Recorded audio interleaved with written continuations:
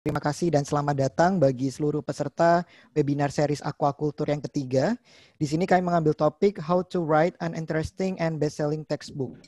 Kegiatan ini merupakan salah satu bentuk implementasi SDGs atau Sustainable Development Goals yang nomor empat yaitu mengenai quality education. Pertama saya ucapkan selamat datang dan terima kasih kepada Dekan Fakultas Perikanan Ilmu Kelautan, Profesor Insinyur Triwirnani Agustini MSc PhD, dan Bapak Fandi Ciptono PhD selaku narasumber. Berikut saya akan bacakan beberapa peraturan dalam webinar ini, yaitu peserta dapat menyaksikan webinar ini melalui Zoom dan juga kanal YouTube official FPIK Undip. Kemudian peserta dapat melakukan pertanyaan, memberikan pertanyaan pada kolom komentar yang akan kami bacakan pada saat akhir sesi. Kemudian pembahasan akan dibahas di akhir acara dan di akhir acara akan kami berikan link untuk absensi dan untuk mendapatkan sertifikat. Kemudian uh, selanjutnya acaranya adalah pembukaan dari Ibu Dekan kepada Profesor Insinyur Triwinani Agustini MSc PhD kami persilahkan. Oke, terima kasih. Bismillahirrahmanirrahim. Assalamualaikum warahmatullahi wabarakatuh. Selamat pagi, salam sejahtera untuk kita semua. Uh, pada pagi hari ini kita bisa bertemu dan kita bisa uh, belajar banyak dari salah satu narasumber kita yaitu Bapak Fandi Ciptono, PSc MCom PhD dari Victoria University of Wellington, New Zealand.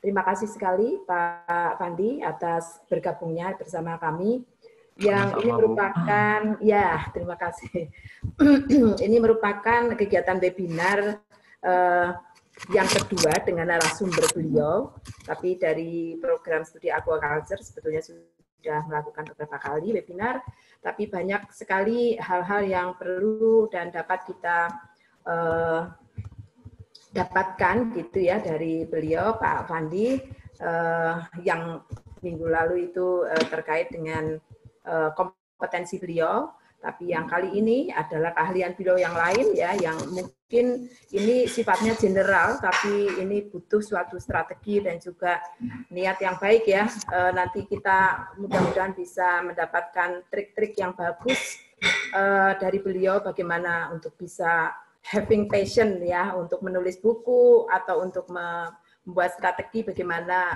agar bisa cinta menulis buku atau pandai menulis buku gitu ya.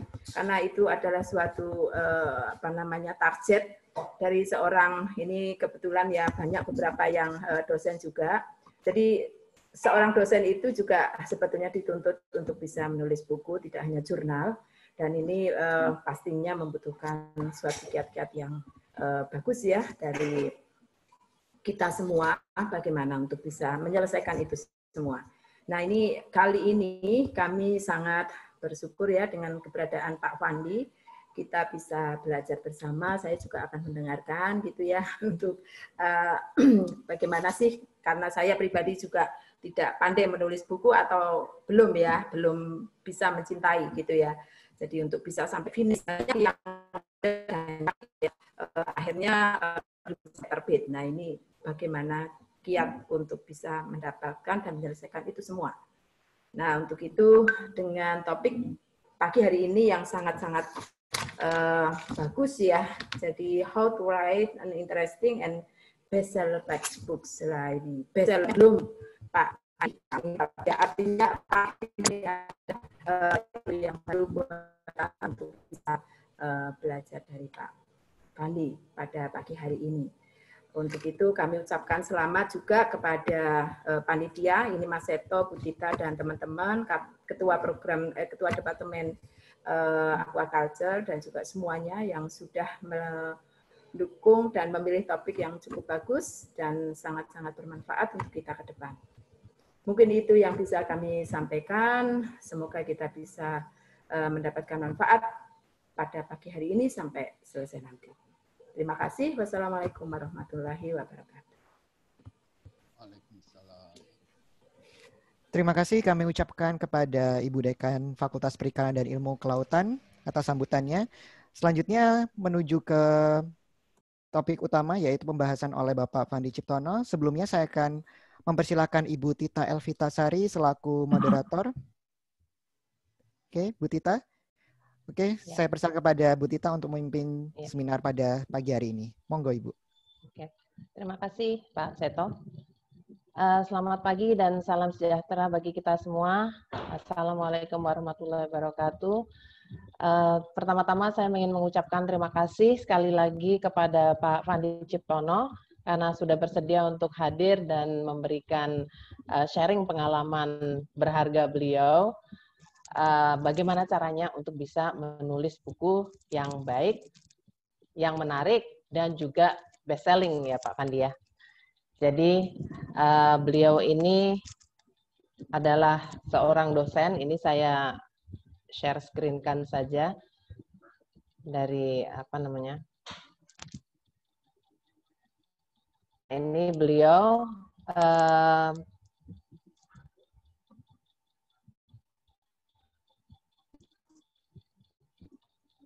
Beliau adalah dosen di School of Marketing and International Business dari Victoria University of Wellington di New Zealand.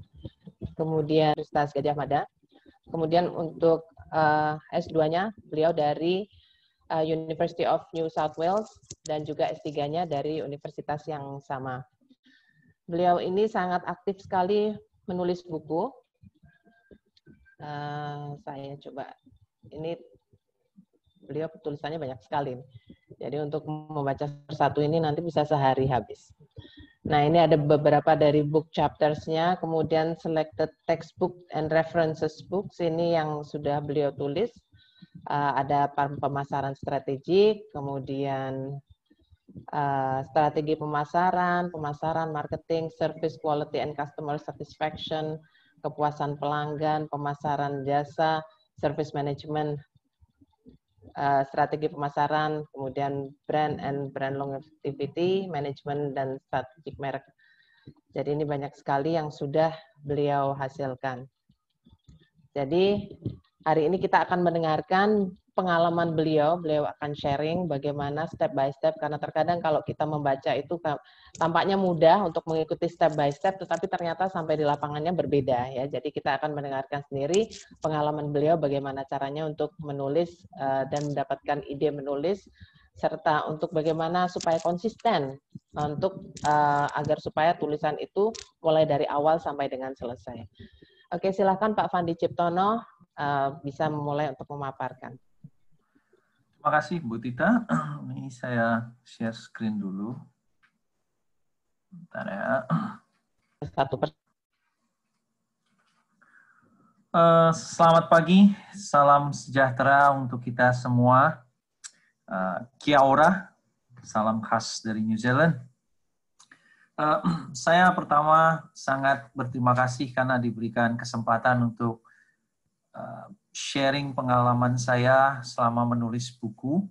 Saya sebetulnya mengawali karir nulis buku pertama kali kalau saya kilas balik. Saya lulus dari Fakultas Ekonomi Gajah Mada itu Agustus 94.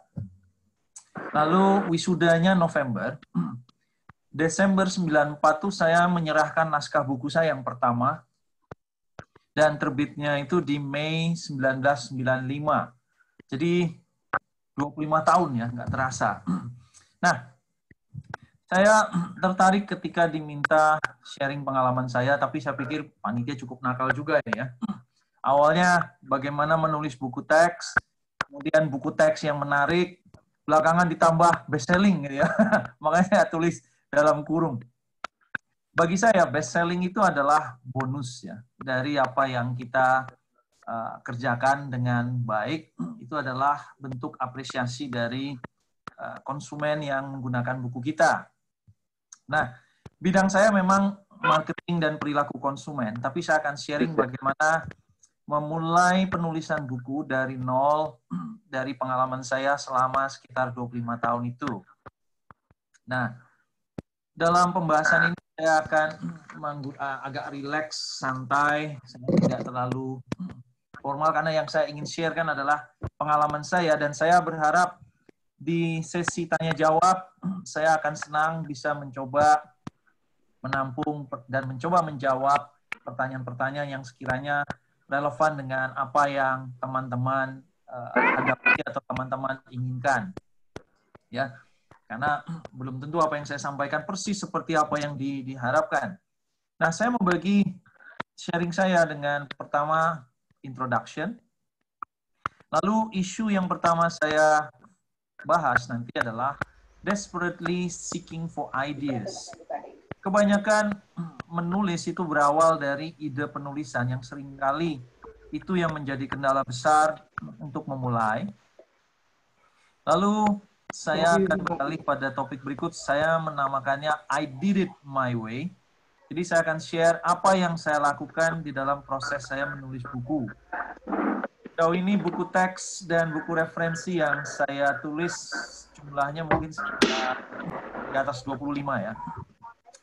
If time is money, no wonder I'm not rich ini akan fokus pada kendala yang dihadapi di dalam penulisan. Dan biasanya yang sering kali kita keluhkan, apalagi sebagai dosen, itu adalah waktu ya.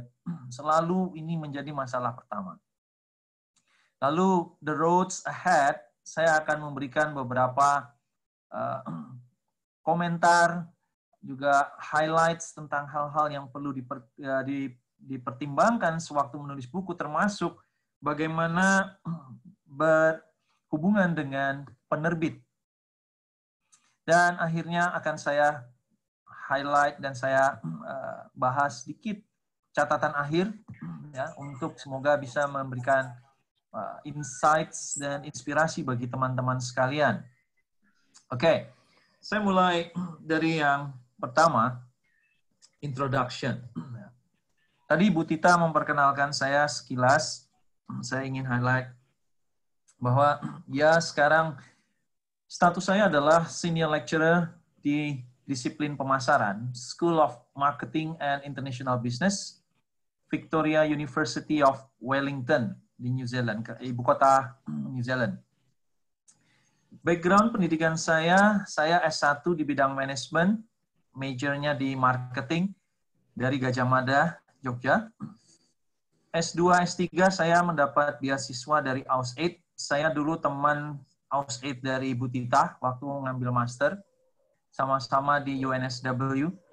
Yang dulu kita Bu Tita kita disebut Universitas Negeri Solo Wetan itu ya.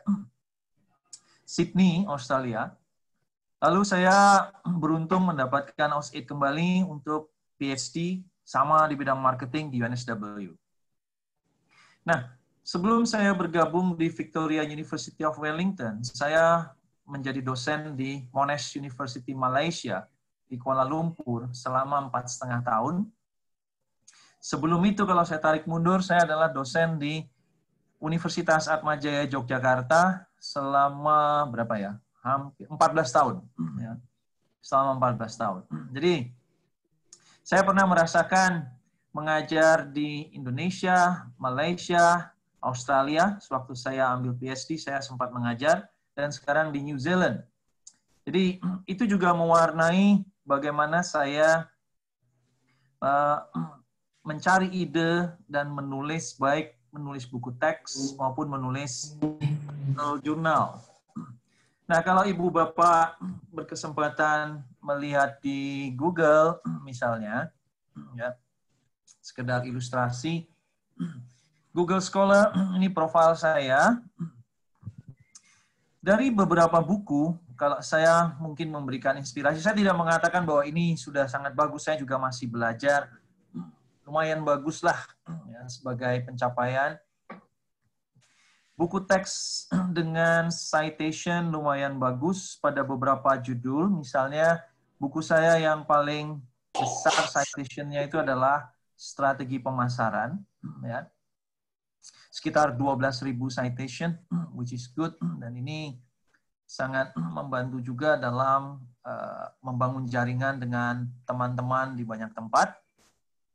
Ya, ini sesuatu yang sebetulnya sangat-sangat achievable apabila kita menekuninya dengan benar. Jadi buat teman-teman sekalian nulis buku, kita bisa juga membangun jaringan, bisa membangun pertemanan, juga membangun citation profile kita di Google Scholar. Ya. Nah, tapi saya selalu percaya bahwa sistem creates behavior tergantung pada di mana lingkungan kita. Kalau di Indonesia teman-teman menulis buku jelas dapat poin untuk sertifikasi dosen, untuk kinerja dosen, dan seterusnya.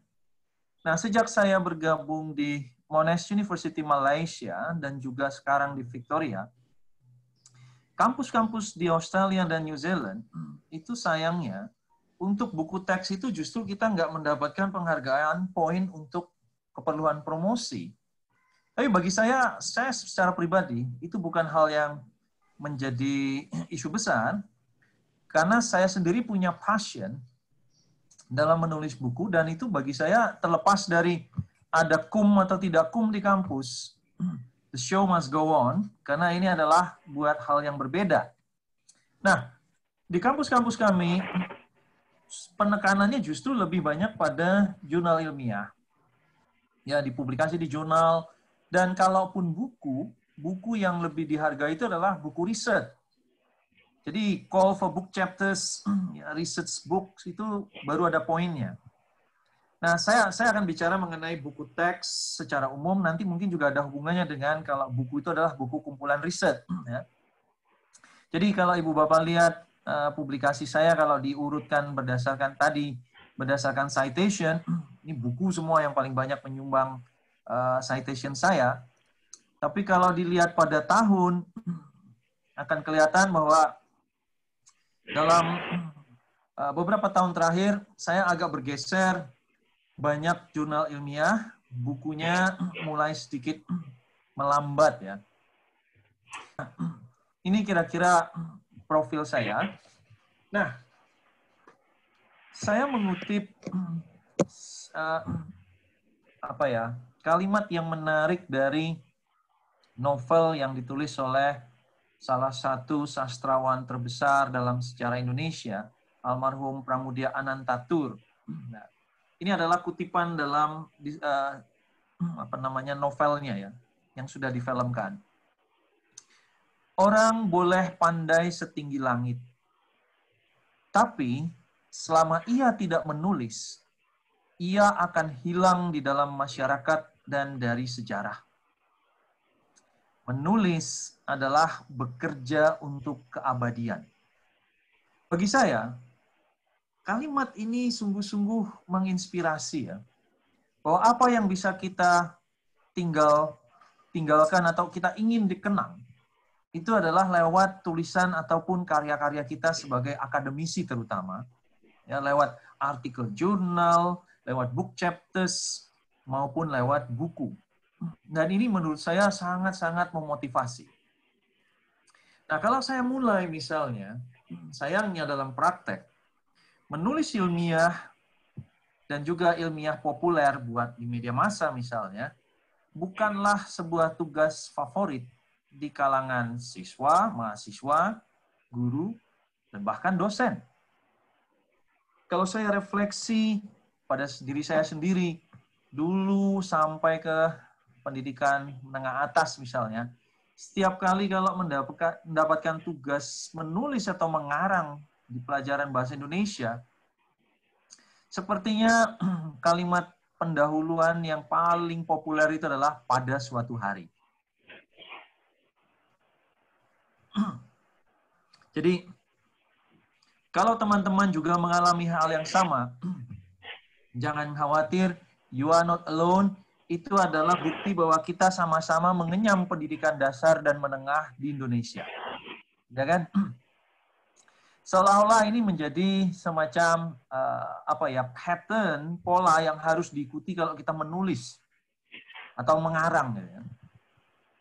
Nah, kalau belakangan ini saya lihat banyak di antara kita, kita lebih jago kalau diminta menulis di blog, di Facebook, Instagram, Twitter, WA, dengan emoticon, jargon, bahasa alay, bahasa gaul, hal yang seperti itu bagus. Tapi ketika disuruh menulis yang lebih sistematis, nah, the problem begins. It begins. Itu yang susah. Apalagi diminta menulis buku. Kalau kita bandingkan misalnya menulis buku dan menulis artikel, ya, artikel katakanlah eh, 6.000 kata, 8.000 kata, sekitar 16 halaman, 20 halaman kalau dengan dua spasi, ya, fontnya Times New Roman. Kalau menulis artikel 20 halaman katakan, itu kalau kita nggak selesai itu rasanya oke okay lah masih ya, karena hanya satu artikel yang 20 halaman. Tetapi yang tantangan besar pada menulis buku, let's say 15 bab, mau selesai dua bab, mau selesai 10 bab, atau 14 bab, masih kurang satu bab, ya itu belum bisa disebut buku. Dan itu yang kadangkala investasi waktu, usaha, dana, itu yang kadangkala apa ya menjadi tantangan terbesar di dalam menulis buku. Begitu sudah dimulai setengah jalan, maju kena, mundur kena. Saya terus terang juga sering mengalami hal serupa. Ya, itu yang nanti bisa kita diskusikan. Nah, kalau kita lihat latar belakang mengapa kita menulis buku, saya kira mungkin sebagian besar di antara kita bisa tahu dan menyadari bahwa menulis buku itu bisa memberikan sedemikian banyak potensi manfaat. Ya. Ini kalau saya list beberapa berdasarkan pengalaman dan pengamatan saya, kira-kira ini adalah daftar dari sekian manfaat yang bisa kita dapatkan lewat penulisan buku. Yang pertama adalah poin, terutama buat dosen. Untuk kenaikan pangkat, untuk promosi jabatan, sertifikasi dosen. Pada level tertentu ada kewajiban untuk melakukan istilahnya diseminasi ilmu melewat penulisan buku dan artikel jurnal. Di tempat kami ada annual KPI, Key Performance Indicator, ya, kinerja tahunan juga bisa untuk membangun citations. Nah, tadi di awal saya mengatakan di kampus kami di uh, Australia maupun di New Zealand, menulis buku teks itu nggak ada poin khusus untuk kenaikan pangkat. Tetapi, sama dengan situasi di Indonesia, dosen itu juga dituntut untuk melakukan tridharma. Walaupun kami tidak menyebutnya tridharma perguruan tinggi, di tempat kami itu disebut uh, tiga aspek utama ya ini, ini sama ya betulnya nggak ada istilahnya tapi disebut itu adalah dosen itu kalau dalam KPI itu ada alokasi 100% performance ke dalam tiga atau empat area. Yang pertama adalah teaching, kedua research, lalu ada yang namanya uh, service atau engagement. Kadangkala juga ditambah yang keempat leadership. Tapi biasanya tiga. Jadi hampir sama dengan kita, penelitian, eh, pengajaran, dan pengabdian masyarakat. Hampir sama. Tapi kami selalu punya alokasi berapa persen. Misalnya kebanyakan dosen itu 40, 40, 20. 40 persen untuk pengajaran, 40 persen penelitian, 20 persen itu untuk service dan leadership. Nah, dalam pengalaman saya selama di Monash Malaysia dan juga di Victoria Wellington, sekalipun menulis buku teks dalam bahasa Indonesia itu tidak diakui khusus sebagai poin untuk kenaikan pangkat, tetapi citation di Google Scholar itu bisa dipakai untuk memperkuat impact yang saya tulis dalam laporan tahunan kinerja saya untuk aspek pengajaran. Jadi poinnya itu bukan dari jumlah buku yang saya tulis. Misalnya seperti Indonesia satu buku 25 poin atau 40 poin gitu ya. Kita enggak. Tapi saya bisa mem memasukkan di dalam laporan kinerja saya. Citation ini adalah indikator impact. Ya. Jadi di banyak kampus sekarang bukan hanya masalah jumlah publikasi yang dihasilkan, tetapi impact dalam hal siapa yang membaca, berapa banyak yang download, dan yang paling penting, yang melakukan citasi. Nah, ini menarik dalam penulisan buku. Terutama kalau di konteks Indonesia, dari pengalaman saya, mahasiswa yang menulis skripsi, tesis, dan juga menulis disertasi, mereka banyak mencari literatur khususnya ketika menulis theoretical background, ya kan? Nah, di sana biasanya mereka mahasiswa Indonesia akan mencari bahan-bahan bukan hanya dari artikel jurnal yang saya tahu juga kalau sudah berbahasa Inggris masih banyak mahasiswa Indonesia yang emoh membaca yang berbahasa Inggris. Dalam satu sisi itu hal yang sebetulnya memprihatinkan. Tapi sisi lain, kalau kita lihat dari kacamata penulisan buku, sebetulnya itu adalah peluang untuk banyak membantu mahasiswa kita dalam memahami riset-riset terbaru, terutama metodologi dan temuannya, kalau kita bisa memasukkan hal-hal semacam itu di dalam buku kita. Dan saya melihat dari sekian buku saya, bukan semua buku teks, ada juga buku yang berupa buku referensi ya. Misalnya di samping sini saya berikan contoh, ini adalah cover buku saya. Service, Quality, and Customer Satisfaction. Ini bukan buku teks.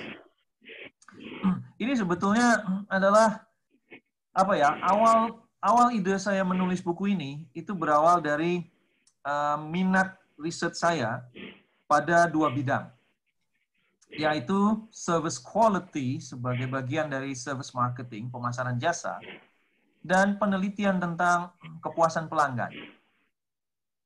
Karena saya banyak membaca dan juga banyak melakukan penelitian kecil di dua bidang ini, saya pikir, wah ini sayang sekali materi ini dibuang. Maka saya coba mengumpulkannya dalam bentuk tulisan, dijadikan uh, struktur lima atau enam bab yang saling berkaitan dengan topik ini dari mulai apa itu, mengapa, bagaimana pengukurannya, dan seterusnya. Di luar dugaan saya sebetulnya waktu saya menulis buku ini, buku ini berakhir sekarang dengan edisi 5, ternyata permintaannya banyak dan saya diberitahu oleh penerbit, pemakai buku ini kebanyakan adalah mereka yang sedang menulis skripsi, tesis, dan disertasi. Dan unik untuk pasar Indonesia, ya, kadangkala mahasiswa itu rela tidak membeli buku untuk mata kuliah yang ditempuh, tetapi ketika mencapai tahap skripsi, tesis terutama, tesis terutama ya, mereka lebih royal dalam me, apa namanya menganggarkan dananya untuk membeli buku. Ya. Itu yang saya saya amati dari pengalaman saya. Ya, jadi yang pertama poin bisa juga citation tadi ya. Nah, hal yang lain tentu saja koin. Tapi bagi saya, kalau tujuan utama kita menulis buku mencari uang, please reconsider your intention. Ya, ini dari pengalaman saya. Jadi kalau buat teman-teman yang belum pernah nulis buku, ya, dan bercita-cita langsung menjadi J.K. Rowling, kaya lewat buku, mungkin menulis buku teks itu bukan tempatnya, tapi nulis buku fiksi itu yang jauh lebih menjanjikan. Nah, mengapa demikian? Kalau kita ikuti perjalanan panjang sebuah buku dari naskah sampai menerima royalti, ini dari pengalaman saya, teman-teman mungkin bisa berbeda pengalaman ya. Saya menulis satu buku itu bisa antara enam bulan sampai dua tahun, tergantung buku yang mana. Ya karena yang lama pada tahap membaca, mengumpulkan bahan. Nah, katakanlah satu setengah tahun misalnya, ya, itu naskahnya jadi. Lalu masukkan ke penerbit, itu juga perlu waktu yang lama. Kadang ngantri, apa namanya, ngantri dicetak, evaluasi itu bisa sampai setahun, tergantung. Saya punya hubungan baik dengan penerbit, karena saya memasukkan naskah saya, seperti saya katakan tadi, dari tahun 95 sehingga kalau saya punya naskah baru, saya tinggal kontak direktur penerbitan eh, penerbit yang sama, kirim file saya. Itu kalau ada tumpukan antrian di depan editor, misalnya ini yang harusnya ditumpuk setinggi ini, buku yang akan di diprioritaskan kan dari bawah ya. Buku yang baru taruh di atas, yang paling bawah akan didulukan di edit antrian. Saya sudah mendapatkan jalur tol dari penerbit saya. Ya. Setiap saya masukkan naskah saya akan ada perlakuan khusus. Saya tidak akan melewati antrian panjang itu. Itu adalah masa lalu saya, ya, waktu saya pertama kali jadi penulis. Tetapi saya pun masih harus menunggu dari naskah saya serahkan sampai kalau itu nanti dicetak, itu bisa 5-6 bulan. Nah, itu dari nulis, plus buku dipercetakan, lalu menunggu royalti kalau ini betul-betul menjadi incaran utama, biasanya royalti itu dibayarkan setiap enam bulan. Dan kalau teman-teman mencermati kontrak penerbitan, di kontrak penerbitan itu sering ada satu ada ada kalimat itu yang harus diperhatikan dengan baik, mengatakan royalti dibayar berdasarkan buku terjual lunas.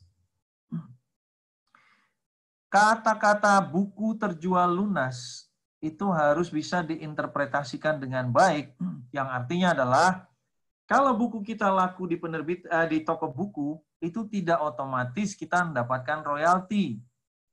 Itu masih tergantung berapa lama toko buku bersangkutan membayar penerbit kita. Kalau sudah dibayar ke penerbit kita, baru nanti akan masuk di dalam jatah royalti kita. Nah, karena itu saya saya ingin mengatakan sebaiknya koin ini dijadikan sebagai bonus ya jangan jadikan sasaran utama. Bagaimana caranya? Yang saya lakukan, saya mengelola ibaratnya pipeline, pipa air gitu ya. Saya kalau sudah naskah serahkan ke penerbit, saya dah that's the end, lupakan, biarkan mereka yang melakukan pekerjaannya. Saya akan mulai lagi dengan proyek baru, menulis yang lain. Dengan demikian, ini akan menjadi semacam bola salju yang bergulir. Ya, nanti tahu-tahu royaltinya akan menumpuk seiring dengan perjalanan waktu. Ya. Jadi kira-kira itu ya. Nah, di samping royalti, kadangkala kampus menyediakan insentif untuk penulisan buku teks. Saya nggak tahu mungkin di kampus teman-teman ada juga insentif sejenis. Bahkan ada yang menyediakan hibah, hibah khusus untuk penulisan buku. Atau kalau ada yang lebih tertarik untuk melakukan self-publishing, jadi memutus rantai distribusi buku yang panjang lewat jalur toko buku, misalnya ingin menjual buku sendiri di kelas ataupun di online secara online, kita bisa mendapatkan profit. Ya. Karena bagian keuntungan terbesar akan masuk ke kantong penulis. Nah, mungkin saya bisa share sedikit tentang struktur biaya kalau kita bicara mengenai royalti misalnya. Kebanyakan kalau kita menggunakan penerbit nasional, royalti itu berkisar antara 10 sampai 15 persen. Ya. Tapi ada saya dengar memang penulis senior yang dapat 20 persen. Saya dulu juga pernah mendapat tawaran 20 persen dibujuk oleh penerbit lain. Ya. Namun teman-teman kalau misalnya yang belum punya pengalaman menulis buku, ketika berhubungan dengan penerbit, nanti saya juga akan ada sesinya di akhir ya. Ketika kita mempelajari kontrak penerbitan, itu juga patut dicermati uh, bagaimana dasar perhitungan royalti. Ada yang memberikan royalti misalnya 10% dari total jumlah buku terjual lunas okay? dari harga jual. Tapi ada juga loh penerbit yang memberikan royalti dari biaya produksi, bukan dari harga jual. Ya. Gimana bedanya? Di dalam dunia penerbitan, harga buku itu kadangkala berkisar antara tiga kali sampai empat kali dari biaya percetakannya. Jadi, katakanlah biaya percetakan buku ini misalnya, misalnya Rp30.000, harga jualnya itu nanti antara 90 persen, eh, 90 ribu sampai 120 ribu. Jadi kalau misalnya teman-teman dapat royalti 10 persen dari harga jual, itu artinya 10 persen dari 120 ribu. Potong pajak, pajak royalti itu 15 persen. Ya. Tetapi kalau royaltinya itu dihitung dari biaya produksi, royaltinya itu nanti adalah 10% dikali 30 ribu biaya produksi tadi. Jadi itu juga hal yang perlu dicermati kalau mengamati kontrak penerbitan. Ya. Tapi itu tergantung bagaimana hubungan kita dengan penerbit ya. Kalau saya sekarang biasanya eh, namanya SPP ya, surat perjanjian penerbitan itu sudah menjadi formalitas karena kita sudah saling percaya. Tapi kalau buat yang yang pertama kali mungkin perlu dipelajari kata demi kata. Oke? Okay? Nah, jadi ini mengapa menulis buku, poin, koin, mungkin karena hobi, aktualisasi diri, idealisme, berbagi ilmu, atau mungkin iseng, mengisi waktu luang. Dulu saya juga mengalami ini ya. Sewaktu saya masih di Jogja dulu, ya, saya punya profesi tambahan selain menjadi dosen. Saya dulu profesi tambahnya adalah ternak teri. Jadi ngantar anak dan istri maksud saya. Jadi ke mana-mana ngantar anak, ngantar istri, antar jemput sekolah gitu ya nunggu anak kalau pulang sekolah, duduk-duduk di parkiran atau di ruang tunggu, itu saat menarik untuk mengisi waktu luang dengan menulis dan membaca. Ya. Ada juga profesi tambahan sebagai penulis, membangun jejaring, maupun alasan lain. Nah, kalau kita lihat semua alasan ini, teman-teman kalau familiar dengan teori Maslow, hierarki kebutuhan Maslow yang ada lima tingkatan, nulis buku itu sebetulnya bisa memenuhi kelima jenis kebutuhan atau untuk motivasi. Pada level paling bawah, kebutuhan fisiologis, menulis buku itu bisa untuk mendapatkan poin, koin, dan sekaligus citation. Oke, okay? so basic fisiologis, ya, kebutuhan fisiologis. Level berikutnya rasa aman dan keamanan. Nulis buku juga bisa memenuhi kebutuhan akan rasa aman dan keamanan, Misalnya ada pasif pasif income, royalti setiap enam bulan misalnya. Ya. Lalu juga ada bagi teman-teman dosen rasa aman kalau kita nulis buku dalam hal laporan kinerja dosen atau tuntutan sertifikasi dosen. Jadi dua jenis kebutuhan ini bisa dipenuhi dengan menulis buku. Kebutuhan level ketiga, kebutuhan akan sosial ya, sosialisasi nulis buku bisa membuka jaringan dengan teman berupa uh, baik dosen, mahasiswa, dengan dunia bisnis maupun dunia umum. Dari pengalaman saya, saya pernah diundang untuk uh, mendiskusikan salah satu buku saya tentang brand management oleh sebuah perusahaan besar di bidang consumer goods misalnya. Mereka tertarik untuk mengulas uh, teori dan konsep yang saya ulas di buku itu. Ya. Lalu Kebutuhan level keempat, self-esteem. Menulis buku bisa memberikan rasa bangga, prestis, dan reputasi. Kalau saya kilas balik 25 tahun yang lalu ketika pertama kali buku saya masuk ke toko buku Gramedia, betapa senangnya saya melihat cover buku saya dipajang di rak-rak buku baru. Lebih bahagia lagi ketika saya melihat ada orang yang ngantri di counter pembayaran buku, megang buku saya. Ya itu memberikan rasa yang sangat-sangat menyenangkan. Ya. Lalu kebutuhan pada level tertinggi, self actualization, aktualisasi diri, nulis buku bisa memberikan sense of self self achievement. Ya. Nah ini ini background saya. Ya. Nah menulis siapa takut? Kalau saya berbagi pengalaman saya pribadi, saya dulu di SMA itu bukan di bidang marketing ya. Saya di SMA dulu, SMA zaman saya ambil A1 yaitu fisika. Saya dari dulu kepengen banget menjadi computer programmer. Ya. Tetapi berujung nasib waktu UMPTN pilihan pertama teknik elektro saya nggak keterima, saya keterimanya di pilihan kedua manajemen saya bukan menjadi programmer komputer, tapi sekarang saya menjadi uh, dosen yang mempersiapkan para sel produk komputer ya. Jadi bukan lagi saya yang belajar komputer, tapi menghasilkan sales atau marketer untuk produk komputer sekarang. Nah, saya di SMA mulai dari majalah dinding. Saya dulu ketua KIR, kelompok ilmiah remaja saya senang nulis nempel di majalah dinding, tapi topik yang kalau dilihat dari sejarah hidup saya nggak ada hubungannya dengan marketing. Dulu saya senang teknologi tepat guna, saya senang ilmu pengetahuan bumi dan antariksa. Tapi bagi saya itu adalah starting point ketertarikan saya dengan menulis. Ya.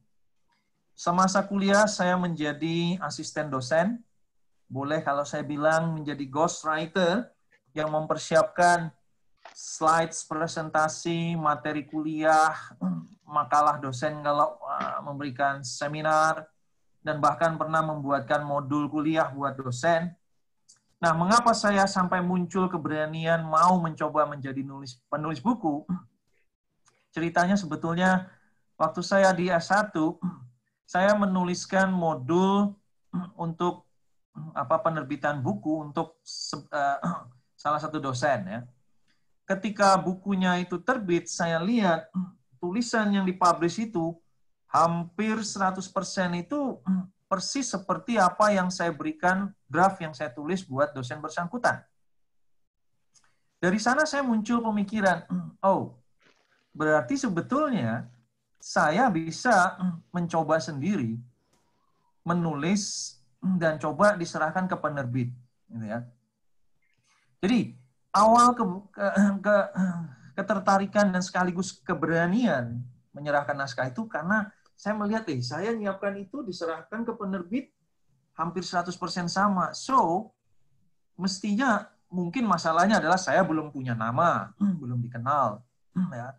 Karena itu saya harus bisa mencari cara gimana supaya bisa menembus dunia penerbitan. Itu yang ada di pikiran saya di awal. Ya. Ditambah lagi kalau saya membaca tulisan orang lain di media massa atau membaca buku karya orang lain, Kadangkala itu justru memberikan inspirasi dan semangat. Oh, gini jadi buku ya. Saya bisa do something better. Dan itu betul-betul memotivasi saya untuk menulis sendiri. Gitu ya. Nah, kalau saya mulai dari ide, bagaimana saya mencari ide, sebagian saya bahas di depan tadi. Saya adalah pengunjung rutin toko buku kalau di Indonesia, saya paling senang berkunjung ke Gramedia, Togamas, uh, shopping centers kalau di Jogja, ada shopping yang jual buku-buku murah, ya. Periplus, segala buku berbahasa Inggris, dan Kinokuniya, Kinokuniya ya. Saya senang ke toko buku setiap akhir pekan, sambil lihat jajaran buku yang baru. Saya suka melihat apa yang sudah ditulis orang lain, kadang-kala tadi seperti saya sampaikan di awal, bisa memotivasi kalau kita melihat ada yang kita bisa lakukan lebih baik dari itu. Ya. Saya suka melihat judul bukunya, back cover, lalu saya lihat daftar isinya. Ya. Nah, selain itu saya juga sering melakukan, ini saya selalu lakukan rutin, saya browsing berbagai sumber saya senang dengan dua website yaitu Amazon dan Book Depository ya, dengan buku-buku terbaru, bahkan dengan googling. Ya. Semakin banyak saya melihat buku-buku yang beredar, saya biasanya melihat pola bagaimana orang menulis buku, struktur bab terutama ya. Kadang juga ke perpustakaan. Nah, sayangnya belakangan banyak perpustakaan semakin jarang koleksi bukunya Hmm, ya banyak yang beralih ke online ya. Jadi nggak semudah di masa lalu gitu ya. Online mungkin juga ada ibu bapak yang senang ada yang nggak terlalu suka. But anyway ini bisa menjadi sumber inspirasi. Ngobrol dengan teman-teman biasanya teman mengeluh.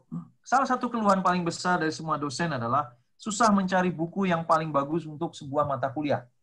Nah, nah Jarang sekali memang ada satu buku yang bisa dijadikan buku pegangan di mana semua bab itu bagus. To be honest. Yang yang sering terjadi kadang kita lihat dua bab dari buku A, tiga bab dari buku B, dua bab dari buku C dan seterusnya. Tetapi kadangkala diskusi semacam ini, obrolan santai semacam ini itu bisa memberikan insights pada kita mengenai apa yang bisa kita lakukan seandainya kita ingin menulis buku untuk mata kuliah tersebut. Hmm, ya. Jadi misalnya kalau mengatakan nulis pengantar pemasaran gitu misalnya. Ini kok kayaknya buku tentang eh, bab tentang marketing communication ini paling bagus dari Kotler ini. Tetapi kalau logistik itu bagusnya dari McCarthy misalnya, dari bukunya McCarthy. Lalu kalau konsep pemasaran itu dari bukunya Stanton. Oke, okay, good feedback. Hmm, ya. Kita akan memfollow up dengan cara apa? Ya, kita cari tiga buku itu, kita lihat kenapa teman-teman kita memberikan direction ke arah itu. Bagi saya, ini adalah sumber insights yang sangat-sangat berharga karena teman-teman dosen ini adalah teman-teman frontliners yang mengajar mata kuliah yang ingin kita buat bukunya. Nah, kadang-kala saya juga dapat undangan dan insights justru dari teman-teman saya di penerbitan. Ya. Mereka sering mengatakan, Bu, sekali-sekali nulis buku perilaku konsumen dong, Mas. Ini kita nggak punya ini. Misalnya, ini banyak yang nyari loh. Ya. Itu juga bisa menjadi sumber inspirasi. Ya. Atau saya yang di bidang prodi manajemen kalau untuk Indonesia, saya sering meluangkan waktu untuk mencermati secara online terutama kalau ada di online kurikulum, silabus, ya, mata kuliah, mata kuliah yang ada di banyak kampus di Indonesia.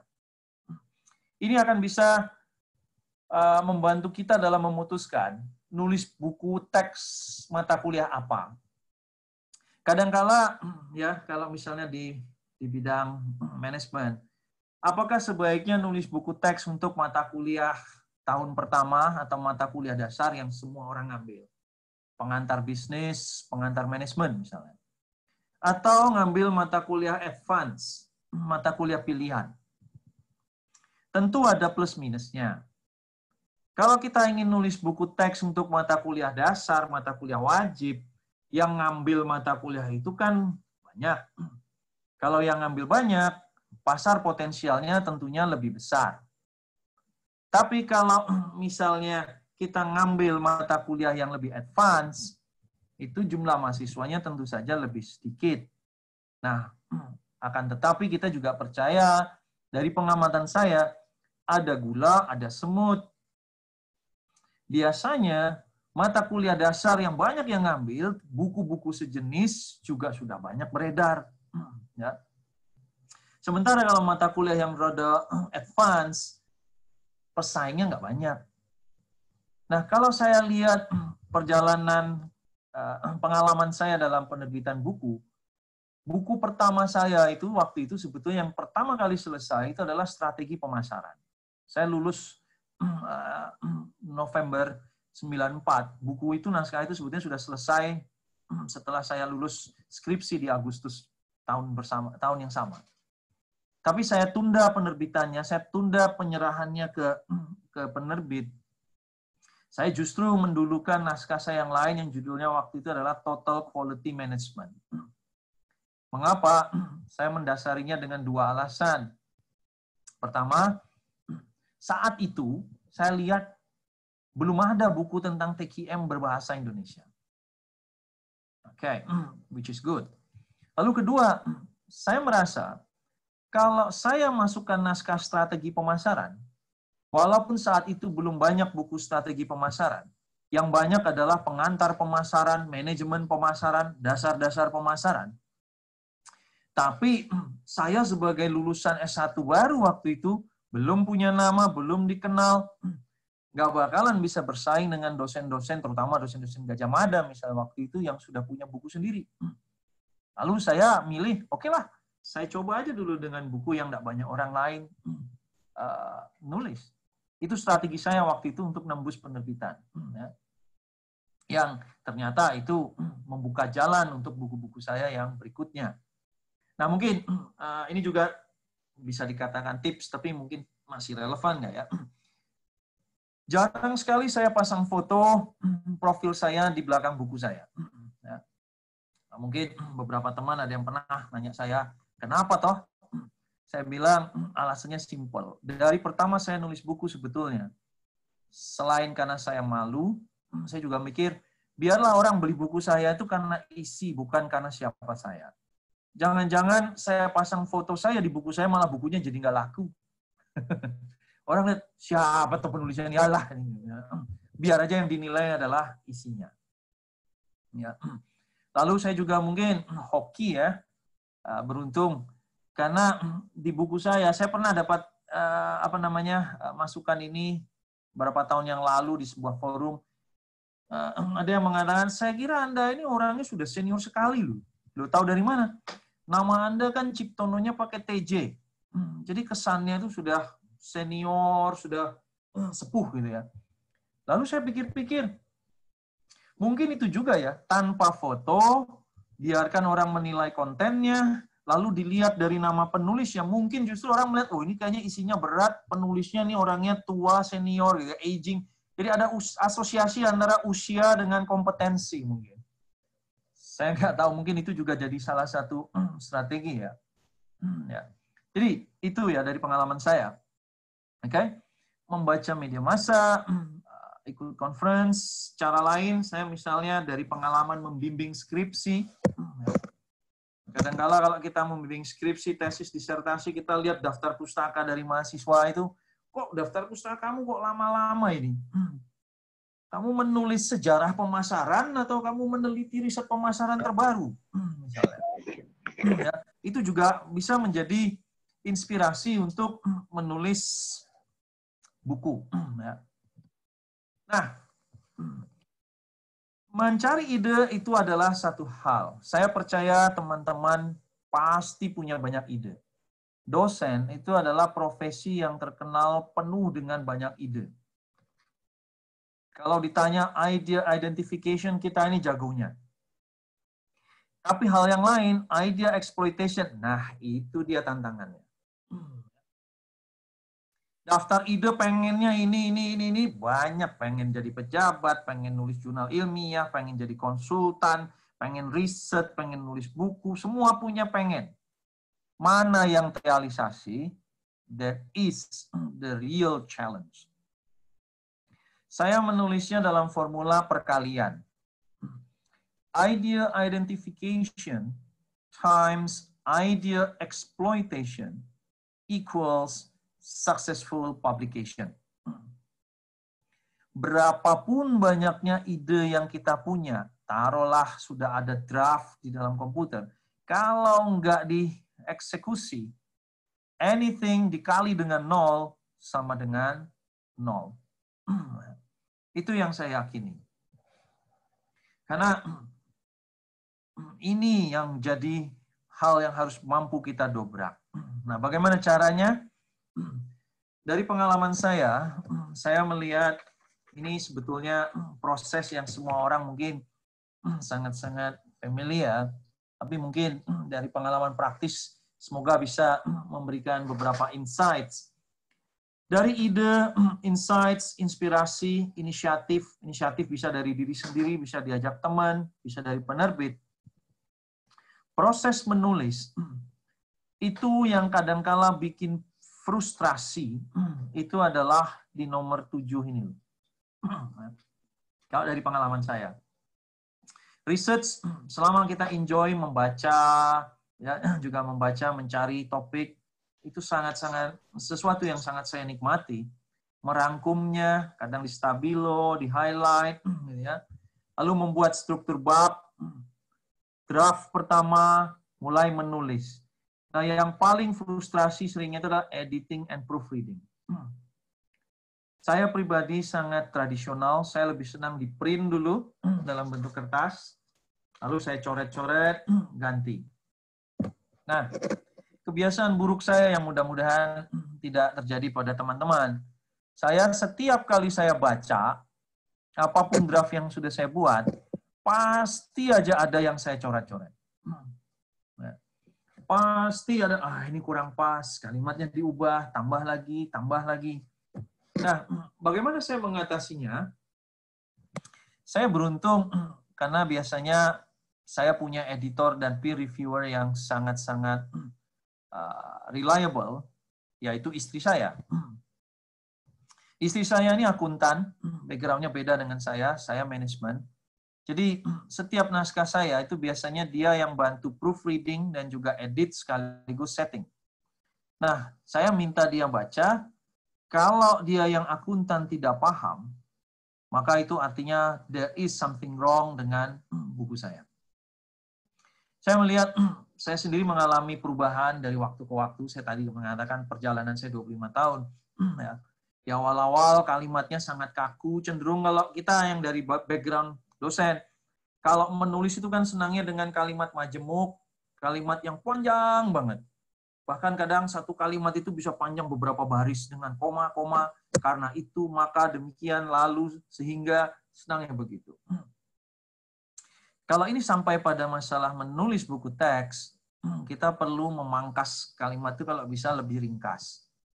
Ya, kadang saya cara saya untuk proofreading yang paling efektif sewaktu saya masih di Indonesia, materi buku saya itu saya berikan ke mahasiswa saya sebagai bacaan untuk uh, kuliah. Dan dari mereka saya belajar bagaimana merevisi dan melakukan fine tuning chapters yang saya buat. Itu biasanya. Saya jadi menggunakan mereka untuk membantu saya untuk uji coba naskah saya sebelum itu saya finalisasi. Oke? Okay? Ya. Nah, outputnya dari proses ini, kalau disubmit artikel, makalah, kasus, termasuk buku. Saya akan lebih rinci pada beberapa elemen yang saya singgung sekilas tadi ya. Saya menyebutnya I did it my way. Oke. Okay. Yang mudah-mudahan relevan buat teman-teman sekalian. Misalnya begini. Kalau saya gambarkan dengan cara yang sedikit berbeda, prosedur yang biasa biasa saya lakukan. Ideation. Mencari ide menulis buku. Kalau fokus kita pada buku teks misalnya saat ini nih apa yang ada di benak saya? Saya di bidang marketing saya lihat tidak banyak buku perilaku konsumen dengan contoh konteks kasus bahasa Indonesia yang sangat uh, komprehensif misalnya ya. Lalu buku tentang riset pemasaran yang juga sekaligus memberikan contoh konteks Indonesia dan mungkin contoh nyata publikasi di jurnal internasional yang uh, reputable. Dua misalnya. Perilaku konsumen, riset pemasaran sebagai ide untuk menulis buku. Lalu apa yang saya lakukan? Saya akan mengumpulkan materi. Nah, kalau di masa awal-awal saya nulis tahu uh, di tahun-tahun uh, 90-an dan awal 2000, saya akan lebih banyak mengandalkan buku teks sebagai acuan utama. Jadi saya kumpulin misalnya buku teks perilaku konsumen, buku teks riset pemasaran. Let's say kita fokus perilaku konsumen. Saya kumpulin buku-buku perilaku konsumen. Nah sekarang saya akan melakukannya dengan cara yang sedikit berbeda yes, saya tetap akan mengumpulkan buku-buku perilaku konsumen, lalu saya lihat struktur babnya, saya akan mencari mana yang paling pas. Oke. Okay? Tetapi, saya juga akan melihat pada artikel-artikel jurnal ilmiah, terutama paper-paper yang membahas tentang uh, meta-analysis, literature review, atau temuan terbaru di bidang perilaku konsumen. Bagi saya, di awal tadi saya sempat cerita, di antara para pemakai buku teks yang saya saya amati itu adalah mereka yang menulis skripsi, tesis dan disertasi. Oke. Okay? Nah, saya inginnya buku teks saya itu bukan hanya untuk keperluan kuliah. Tapi kalau bisa itu membantu mahasiswa kalau mereka ingin menulis skripsi, tesis atau disertasi yang ada kaitannya dengan perilaku konsumen. Dengan kata lain, saya ingin buku teks saya itu bukan hanya dipakai buat keperluan pengajaran kuliah sehari-hari, tapi juga memberikan basis bagi mereka kalau mereka mau menulis literature review. Karena itu saya perlu menambahkan hal-hal terbaru. Nah, ibu bapak, teman-teman mungkin juga sadar, dibandingkan buku teks, artikel jurnal itu jauh lebih apa namanya lebih kontemporer. Ya. Artikel terbaru itu biasanya mencakup penelitian, misalnya artikel yang dipublish September 2020, itu paling lambat mungkin katakanlah penelitian dua tahun yang lalu. Ya. Tapi buku teks yang keluaran 2020, itu yang di cover mungkin lebih lama, karena proses penerbitan buku itu jauh lebih lama. Ya. ya karena itu saya ingin memadukan artikel jurnal ilmiah sekaligus buku teks. Ya. Nah, proses akan dimulai dengan extensive reading. kebiasaan saya, saya menggunakan stabilo, lalu saya tandai mana yang nanti kiranya bermanfaat. Karena dua hal ini akan membantu saya menentukan bagaimana sistematika bab yang akan saya tulis. Ya. Dari pengalaman saya, kalau saya nulis buku teks ya, dalam konteks kekinian, saya akan mencoba sebisa mungkin menyesuaikan jumlah bab saya dengan jumlah minggu atau jumlah pertemuan untuk perkuliahan mahasiswa. ya. Jadi misalnya kalau kuliah itu 12 minggu atau 14 minggu atau 15 minggu. Dan saya biasanya gini, kalau misalnya dulu di kampus saya 14 minggu gitu ya, taruhlah 14 minggu kuliah. Maka bab buku saya itu paling-paling antara 10 sampai 12 bab. Karena saya melihat gini, biasanya kuliah pertama itu adalah pendahuluan, perkenalan, bicara silabus, segala macam, belum masuk materi.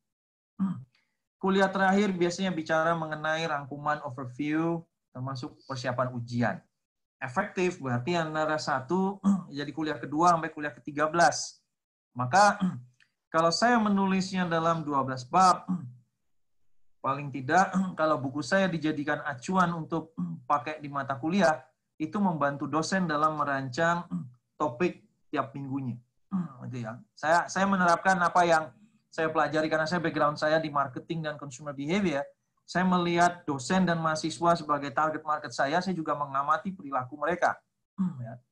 Jadi ketika saya menyusun struktur bab, sistematika bab, saya memperhitungkan jumlah minggu perkuliahan, kira-kira babnya itu setiap bab itu kalau bisa itu kalau dijadikan bahan kuliah dalam satu pertemuan misalnya. Ya. Itu yang saya usahakan sebisa mungkin. Oke. Okay? Nah, kalau sudah dapat struktur bab, sistematika bab, barulah saya mulai drafting, menulis, sambil edit dan setting. Nah, mungkin satu catatan dari saya, kalau teman-teman yang belum pernah menulis buku, penulis pemula misalnya, mungkin nggak perlu repot setting seperti buku yang sudah naskah yang mau jadi akhir.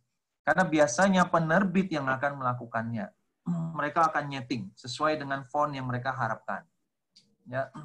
Tapi dari pengalaman saya, karena saya dekat dengan penerbit Andi misalnya, penerbit Andi Yogyakarta, kami sudah sepakat Ya, mereka sepakat juga, nggak usah repot-repot Pak, nggak akan lagi nanti lewat proofreading, lewat penerbitan biar jalurnya cepat. Maka mereka memberikan saya misalnya margin kiri, kanan, atas, bawah, jenis font, seperti apa, ukuran kertas. Jadi dari saya, naskah itu semua sudah disetting. Sehingga kalau saya nyerahkan ke penerbitan, itu sudah dalam bentuk PDF, yang tinggal mereka pelajari akhir. Kalau ada yang kurang, kembalikan ke saya, saya yang nyeting lagi biar cepat, itu tinggal dimasukkan ke percetakan. Tapi waktu saya memulai dulu, biasanya setting ini paling tidak saya membuat cantik layoutnya sebagaimana kira-kira nanti bukunya akan tampak kalau itu jadi. Tapi ukuran buku, ukuran kertas, cover, semua nanti yang menentukan adalah penerbit ya. ya. Itu kalau dari saya. Nah, beberapa hal khusus kalau Bu Tita mengatakan tolong cerita dong pengalaman bagaimana caranya kalau boleh dikatakan tips atau semacam apa yang biasa saya lakukan ini best practice yang saya lakukan. Ya. I did it my way. Kalau saya menulis buku ya supaya citationnya kalau ibu bapak lihat tadi citation misalnya juga uh, target marketnya siapa. Saya akan mulai dengan konsep marketing yang saya terapkan, segmenting, siapa kira-kira pembaca bukunya yang saya targeting ya, target siapa target pembacanya, buku untuk kuliah, apa buku untuk referensi atau untuk umum, positioning. Nah, tiga hal ini sebetulnya pertanyaannya sederhana. Buku apa yang mau ditulis? Perilaku konsumen tadi misalnya. Buat apa? Buat siapa? Buat kuliah, buat mahasiswa, oke? Okay? Lalu yang paling penting, reasons to buy. Apa keunikan buku saya dibandingkan buku-buku pesaing? saya menikmati kalau datang ke toko buku itu adalah melihat uh, buku-buku pesaing. Saya mencoba melihat, oke, okay, ini bukunya bagus, kurangnya apa? Ini kelebihan kekurangan. Lalu saya inginnya apa yang unik di buku saya. Kadangkala kalau saya, bukan kadangkala ya, sering kali kalau saya mencoba merancang sebuah buku naskah dari awal, yang ada di kepala saya, target market saya, target pembaca saya, itu ada dua. Target primer saya itu adalah dosen. Pasar sasaran sekunder saya itu adalah mahasiswa kalau itu buku teks atau umum praktisi. Ya. Mungkin teman-teman bertanya, loh kok enggak kenapa enggak primernya mahasiswa? Jawaban saya sederhana. Dosen untuk buku teks itu kalau dalam kacamata perilaku konsumen, mereka itu adalah initiators, influencers, dan sekaligus gatekeepers dalam proses keputusan pembelian buku teks. Sehingga mereka yang menentukan mana buku teks yang dipakai di perkuliahan. Belum pernah saya mengalami dalam karir saya menjadi dosen, mahasiswa datang di kuliah pertama, Pak, Gimana kalau saya mengusulkan kita pakai buku teksnya, bukunya Stanton? Enggak kan? Yang menentukan buku, buku teks, dosennya.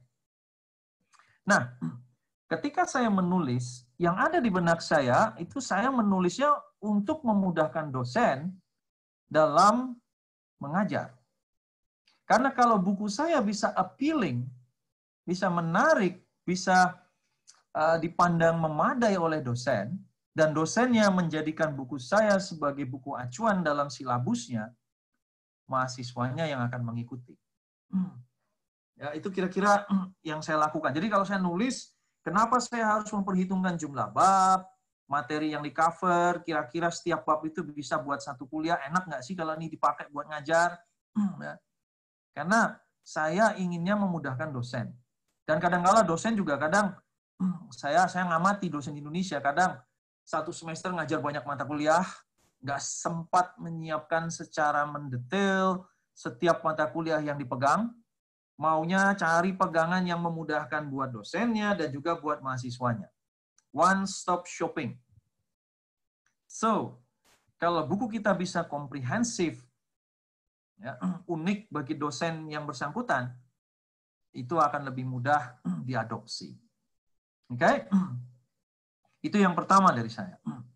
Nah, yang kedua, effective time management. Waktu itu selalu menjadi persoalan paling berat bagi kita semua ya. Saya punya kebiasaan kalau menulis itu ya di malam hari atau juga waktu nunggu ya waktu-waktu nggak nggak produktif itu menunggu anak saya waktu dulu di sekolah atau di bandara kalau lagi ada tugas luar kota itu adalah saat menulis. Karena yang susah itu menjaga momentum ya kalau di dalam menulis itu. Ya. Sama dengan poin berikutnya, managing mood and moments of truth ya. Saya penggemar sepak bola, saya penggemar Manchester United, die hard fan ya. Hampir semua pertandingan Manchester United itu saya saksikan, mau jam berapapun. Nah, sisi positifnya biasanya pertandingannya itu kan jamnya aneh-aneh subuh termasuk di sini pagi subuh gitu ya sambil nunggu bola saya biasanya pakai waktunya buat baca dan nulis jadi semakin banyak siaran langsung Liga Inggris Liga Eropa Piala Dunia makin produktif saya menulis ya. nah teman-teman mungkin punya waktu-waktu khusus dalam menulis ya. nah poin keempat selective collaboration. Ini saya dari pengalaman panjang saya. Saya pernah menulis sendiri, menulis berdua, menulis keroyokan, ya, diajak kerjasama sana sini sering sekali.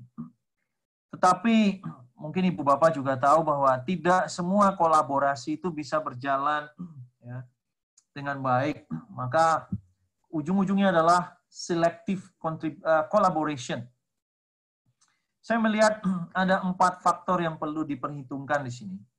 Kompetensi dari masing-masing penulis. Kalau kita berkolaborasi tiga orang misalnya, tiga-tiganya punya kompetensi mungkin sama-sama sebidang, atau justru beda bidang saling melengkapi. Kontribusi, pembagian tugas yang jelas. Ya. Yang repot itu adalah biasanya komitmen. Paling sering saya alami dari pengalaman saya, di awal semuanya semangat. Setelah satu bulan, dua bulan, satu persatu rontok. Dengan alasan klasik yaitu waktu. Ya, sebagai alasan susah menyelesaikan pembagiannya. Ini yang kadang-kala perlu diperhitungkan kalau teman-teman mau kolaborasi ya. Dan kompensasi. Saya melihat ada juga teman tergantung karakteristik pribadi. Ada yang saya pengennya jadi penulis pertama. Oke. Okay. Konsekuensinya kalau Anda yang jadi lead author, kontribusi Anda paling besar. Anda yang manage, kita harus sepakat dari awal supaya sama-sama enak. Yang parah, maunya yang paling besar, paling duluan, tapi komitmennya lemah. Ya. So, saya kira ini akan seiring dengan pengalaman, kita akan temukan siapa sih soulmate kita yang paling cocok dalam kolaborasi.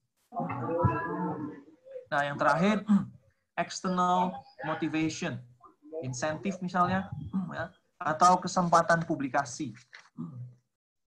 Kalau kampus bisa organize misalnya tiap dies ada penulisan buku di mana semua dosen bisa nyumbang bab, itu akan menjadi organized uh, exercise dalam hal penulisan buku ya. Oke, okay.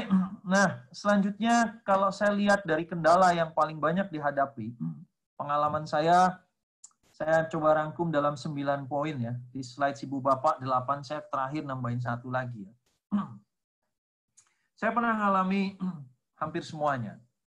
Yang pertama, orang sering mengeluh memulai nulis itu susah apalagi kalimat pertama apa sih yang mau ditulis. Tapi saya bisa mengatakan memulai dan mengakhiri itu sama sulitnya. Jangan dikira mengakhiri bab, mengakhiri buku itu mudah. Ya. Coba kalau kita lihat para pembalap, ya, para atlet itu yang balap pelari gitu ya, untuk melakukan finishing touch-nya yang terakhir, itu juga sama susahnya dengan startnya. Kadang kapan mengakhiri. Hmm. Lalu yang kedua, sistematika atau outline buku sering berubah. Bagi saya setelah saya menjalani cukup lama, ini mestinya bukan hal yang uh, terlalu serius kecuali kalau mengubah sama sekali arah buku kita. Hmm, ya. Biasanya ini urutan bab atau mungkin ada yang dikurangi, ada yang ditambahin misalnya. Hmm keterbatasan waktu dan dana. Kalau mau beli buku duitnya terkurang, kadang mungkin juga akses literatur misalnya. Kalau dulu saya mengalami ini, terutama jari, mencari jurnal ilmiah, sekarang di tempat baru saya relatif lebih mudah, mau cari jurnal apa pun hampir tersedia. Yang tetap susah adalah mencari buku, karena kadang-kala ada buku yang nggak tersedia di toko buku, nggak tersedia di perpustakaan, pilihannya beli atau forget it. ya enggak? Mentalitas lastminute.com. Ada orang yang bekerja lebih efektif under pressure, ada yang begitu under pressure malah makin panik dan nggak jadi apa-apa. Saya kalau mengamati diri saya sendiri, kadangkala saya dalam situasi tertentu, kalau under pressure, itu malah nulisnya bisa lebih cepat. Apalagi kalau sudah dikejar deadline. Tapi ini akan menjadi tantangan kalau kita kolaborasi dengan orang lain. Ya. Apakah co-author kita sama perilaku, kebiasaan, dan juga gaya nulisnya. Oke. Okay? Kolaborasi tidak sesuai harapan. Nah, yang kadangkala membuat ill-feel, ya, perasaan tidak nyaman, kalau kita kolaborasi, let's say bertiga, sembilan bab, satu orang tiga bab nih, sudah disepakati nih, nulis sembilan bab, setiap orang tiga bab. Yang jadi masalah, kita menganggap ini adalah prioritas. Buku ini harus segera selesai, kualitas bagus, saya membutuhkan poin atau apa pun lah dari buku ini, saya ingin lihat bukunya cepat terbit. Bagi saya prioritas, karena ini prioritas, saya mengenyampingkan pekerjaan tugas yang lain. Nomor satu kan ini. Nah, repotnya, kalau bagi teman saya, proyek ini adalah proyek sampingan. Bukan prioritas. Jadi di nomor sekian kan nanti setelah itu nanti baru saya kerjakan. Nah, yang kayak begini ini yang kadang-kala membuat kolaborasi menjadi tidak nyaman. Hmm, ya. Hmm. Belum lagi frustrasi berurusan dengan penerbit. Hmm, ya. Kalau ibu bapak pengen nulis buku tentang 1001 masalah penerbitan, saya bersedia kontribusi satu bab di buku Anda. Ya. Saya punya banyak pengalaman urusan dengan penerbit. Misal, Pernah ada buku yang pakai CD atau pakai disket, CD atau disketnya lupa disertakan. Ada tabel gambar, lupa dicetak. Ada kalimat diedit, malah jadi salah. Contohnya nih, saya dulu pernah nulis di sebuah buku, ya, satu plus satu lebih dari dua. Ketika saya menjelaskan tentang konsep sinergi. Ini waktu saya masih awal-awal jadi penulis.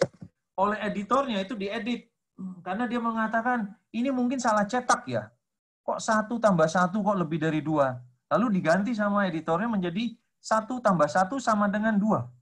Ya, mungkin dia pikir saya lagi mabuk. Satu tambah satu kok lebih dari dua gitu kan nah yang lebih parah lagi saya juga pernah masalah buku buku pertama saya Total Quality Management waktu itu masuk ke toko buku. Ya, di awal-awal mereka mengatakan kepada saya, e, bukunya sudah beredar di toko buku, kamu bisa cek. Wah, saya dengan semangat 45 ke media langsung. Ya. Saya keliling di rak buku manajemen bisnis, nggak ketemu buku saya. Saya telepon hmm, direktur penerbitan hmm, ah, penerbit kami. Loh, Bapak bilang bukunya udah beredar. Kok saya keliling di Gramedia sampai memble di rak-rak buku uh, manajemen dan bisnis ekonomi. Nggak ada tuh buku saya. Gimana nih? Lalu mereka bilang, oke, okay, kamu tunggu ya, saya akan ceknya. Berapa lama kemudian, mereka menghubungi saya. Ternyata masalahnya itu adalah miscommunication antara penerbit dan toko buku. Saya buku saya diterbitkan oleh penerbit Andi Yogyakarta. Pada saat itu Andi sangat terkenal sebagai penerbit buku-buku komputer. Nah, oleh Gramedia, biasanya buku-buku komputer itu dari Andy Offset itu judulnya pakai bahasa Inggris. Misalnya Microsoft Excel, Microsoft Word, semua yang berbahasa Inggris. Nah, kebetulan buku saya pakai bahasa Inggris judulnya Total Quality Management. Oleh pihak Gramedia Jogja saat itu, buku saya dipajangnya di rak buku-buku komputer. Ya.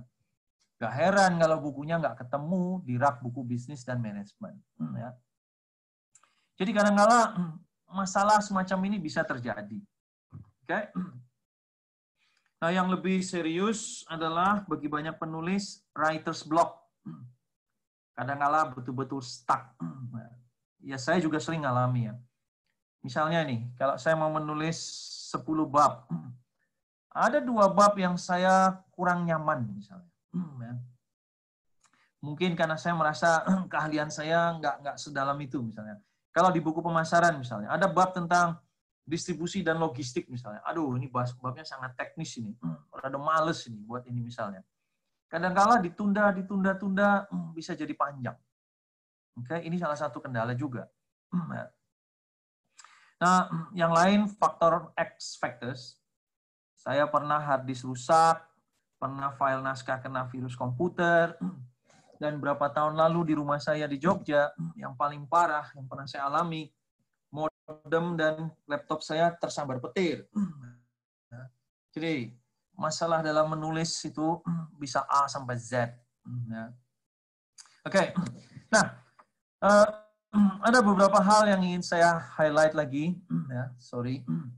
Semoga ini masih uh, relevan gitu ya. Mungkin bisa menjawab sebagian keingintahuan teman-teman. Jadi kalau menulis, pastikan siapa pasar Anda, dosen, mahasiswa, praktisi, kombinasi di antaranya atau umum. Kalau buat kuliah, sekarang cenderungannya kalau bisa kasihlah rangkuman uh, soal latihan di akhir bab, itu akan sangat membantu mereka.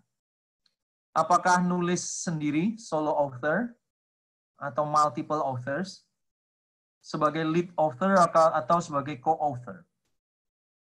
Kalau saya sekarang menemukan formula kesepakatan yang sering saya pakai, kalau saya nulis keroyokan, siapa yang jadi lead author, dia yang paling banyak mengemban tanggung jawab, nangani naskah termasuk setting dan menyerahkan ke penerbitan. Hmm, ya. Apakah ada asisten yang membantu riset, membuat literatur, membuat draft, misalnya. Hmm. Lalu konten, gaya bahasa.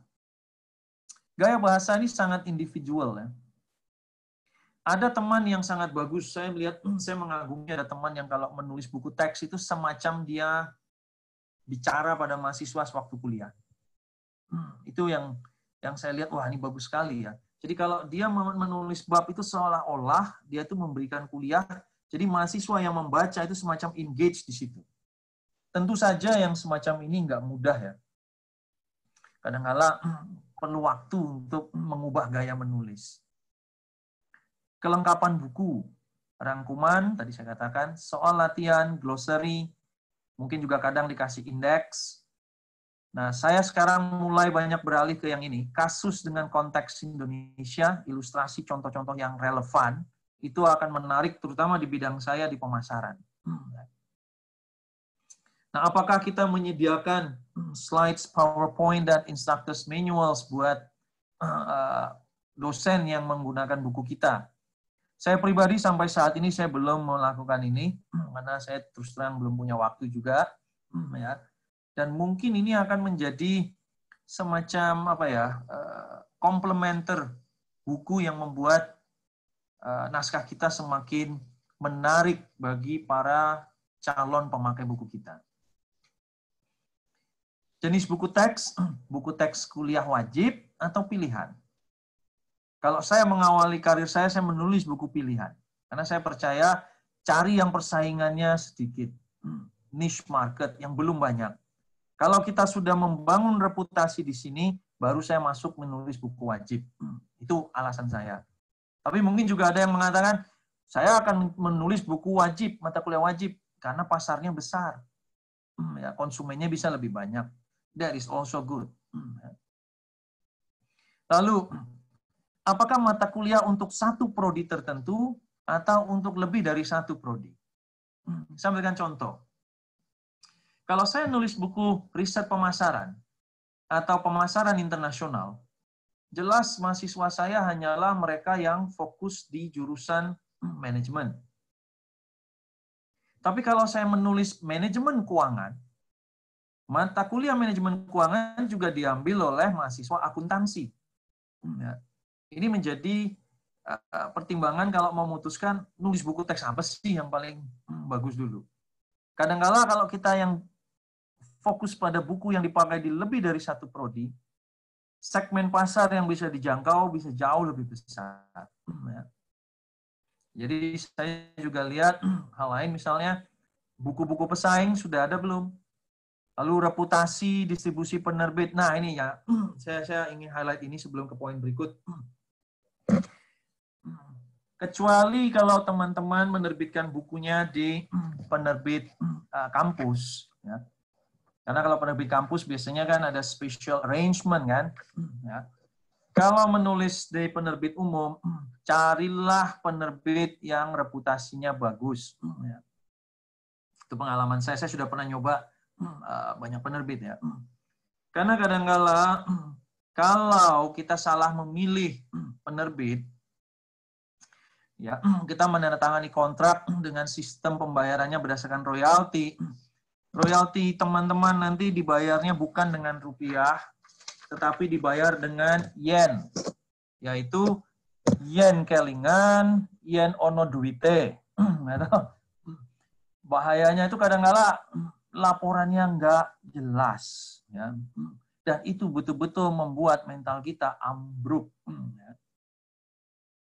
Nah, karena itu sebagai garis besar, saya uh, bisa share bagaimana berhubungan dengan penerbit.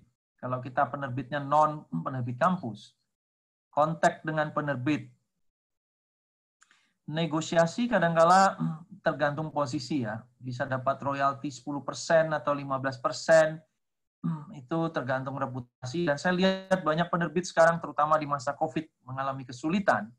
Mereka tentunya akan lebih lebih selektif dalam menyeleksi naskah. Biasanya setelahnya naskah diserahkan, penerbit akan mengevaluasi.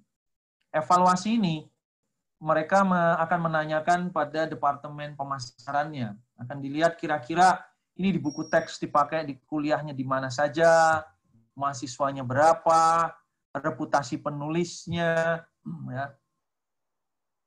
Ya, mereka akan menentukan sistem kontrak yang ditawarkan.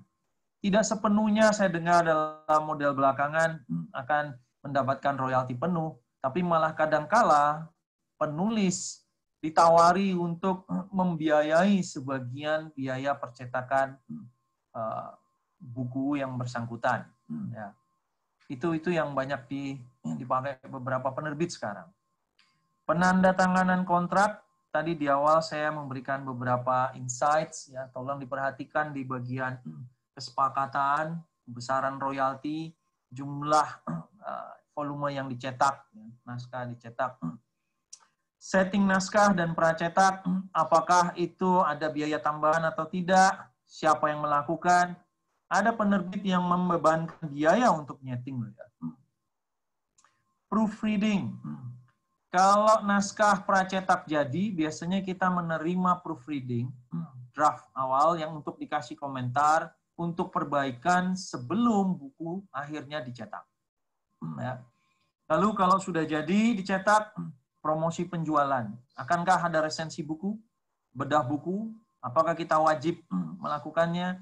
Ini tergantung kesepakatan atau negosiasi. Oke. Okay. Saya kok sejauh ini jarang melakukan bedah buku karena penerbit saya mungkin mereka yang mengandalkan uh, jaringan pemasaran mereka sendiri.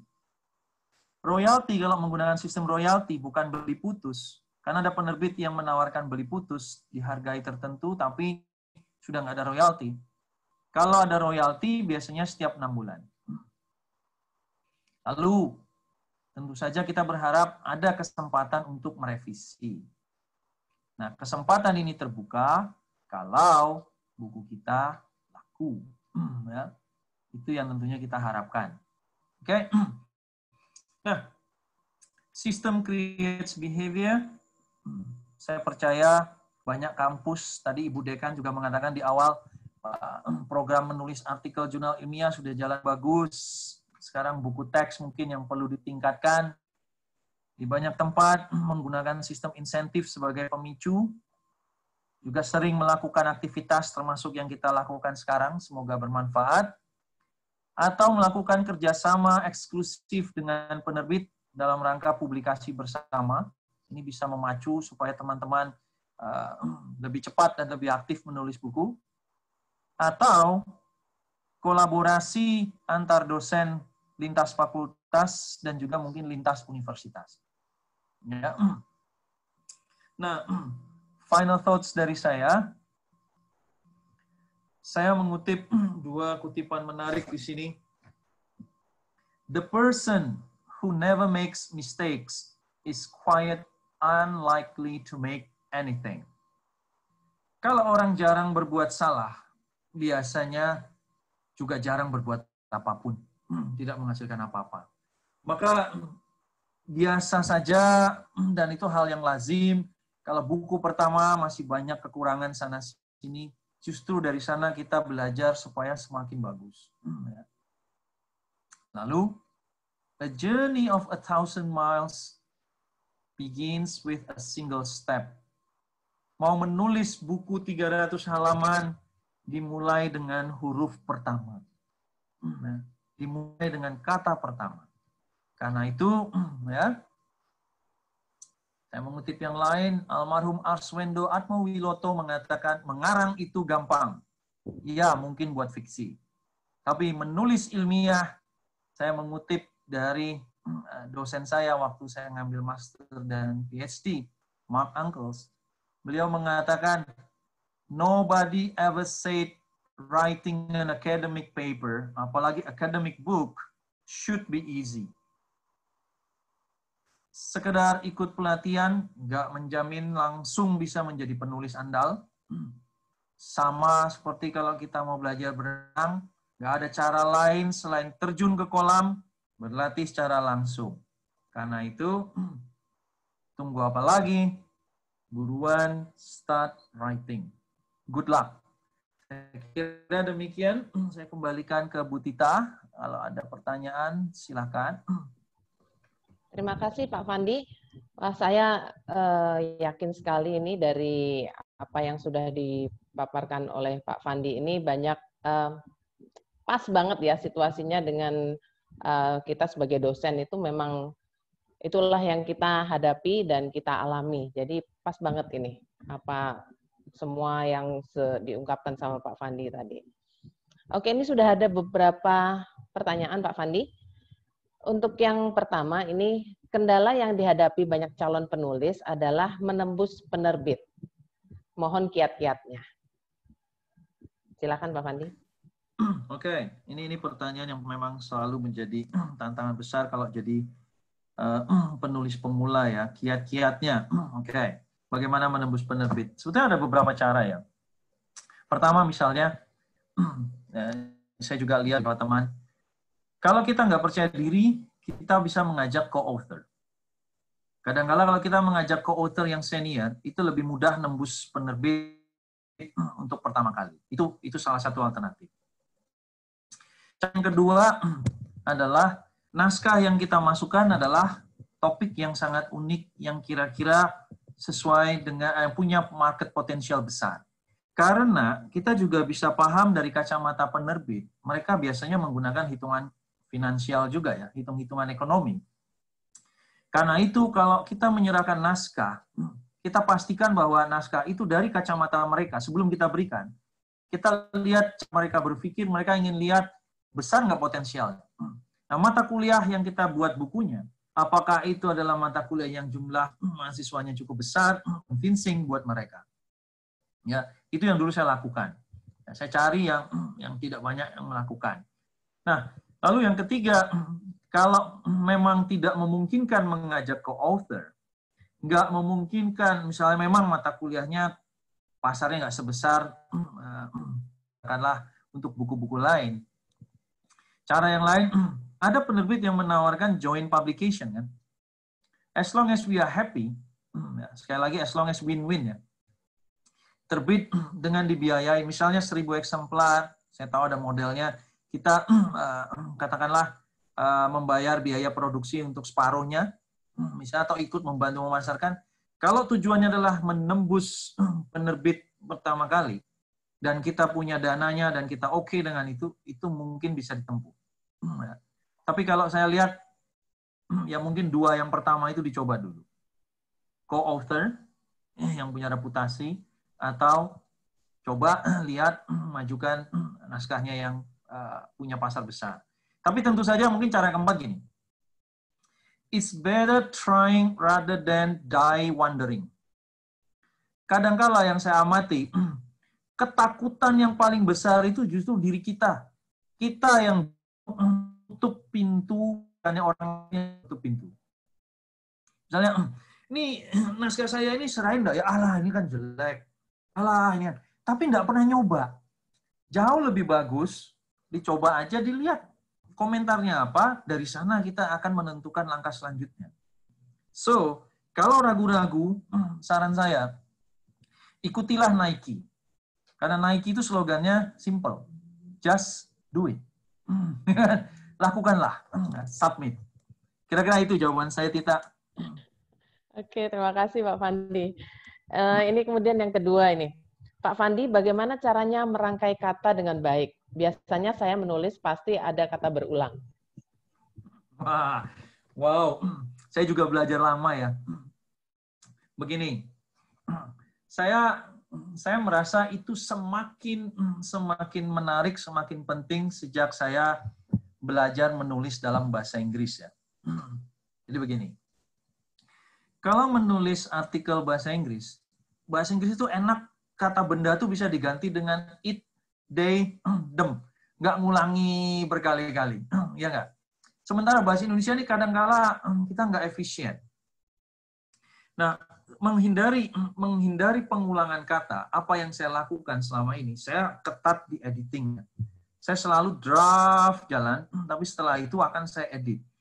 Saya akan berusaha sedemikian rupa menghindari menggunakan kata yang sama dalam paragraf yang sama berkali-kali. Saya mencoba menggunakan sinonim. Kalau nulis bahasa Inggris saya pakai thesaurus ya. Jadi saya misalnya contoh enak pakai bahasa Inggris contoh ya. Misalnya dalam satu paragraf saya menggunakan kata buy. So misalnya I buy a shoes. Buy, buy a pair of shoes. And then I purchase milk. Gitu ya. Jadi buy, purchase, dan lain. Nah, mungkin dalam bahasa Indonesia kita juga perlu dibalik, diganti kata-katanya. Misalnya, uh, pasif menjadi aktif, lalu kosakatanya diubah, cari yang padanannya. Karena kalau kita sendiri yang membaca, kita merasa bosan, apalagi orang lain. Ya. Nah, ini pentingnya kalau kita edit ya. Saya kira di, di sana yang yang paling paling besar editing. Ya. Itu kira-kira dari saya, Tita. Oke, terima kasih Pak Fandi. Saya jadi ingat memang kebiasaan di tempat uh, kita bahasa Indonesia itu berbunga-bunga ya. Jadi ya. banyak banyak ininya apa namanya panjang lebarnya. Saya jadi kalimatnya uh, senang dengan anak kalimat ya, suka pakai yang, iya. yang, iya. yang sehingga kalau dibaca ini induk kalimatnya yang mana nih? Pecah aja kalimatnya. Iya, iya betul. Jadi apa waktu saya S3 juga begitu. Akhirnya sama pembimbing saya, what are you trying to say? Akhirnya dicoret semua karena terlalu panjang kalimatnya. Akhirnya dari belajar dari situ ya memang harus to the point ya Pak Fandi ya kalau menulis yeah, ya. Yeah. Oke, ini berikutnya. Bagaimana cara menimbulkan keberanian menulis? Nah, itu tadi ya yang disebut uh, Pak Fandi. Hmm. Bagaimana hmm. cara menimbulkan keberanian menulis dan eksploitasi pikiran dengan mengabaikan rasa kekhawatiran tidak bisa diterima umum? Hmm. Ah, ini tadi sebetulnya ada kaitannya dengan pertanyaan tadi ya. Memang kadangkala yang paling kita takutkan itu adalah kalau misalnya tulisan kita dianggap nggak bagus, nggak ada yang mau baca, lalu dinilai kualitasnya jelek, segala macam. Karena culturally kita ini adalah tipe orang yang uh, susah uh, me me menghadapi penolakan, ya nggak? Ya, apa pun, termasuk jurnal ilmiah kan. Kalau kita dapat rejection itu kan down banget ya, tau? Ya. Nah, sehingga kalau saya saya saya lihat begini, kalau kalau uh, musuh awal kita adalah keberanian menulis, bagi saya bagaimana mendobraknya adalah keep on writing. Jangan pikirkan itu akan dipublikasikan di mana dulu. Yang penting tuliskan apa yang ingin kita apa namanya ingin kita sampaikan.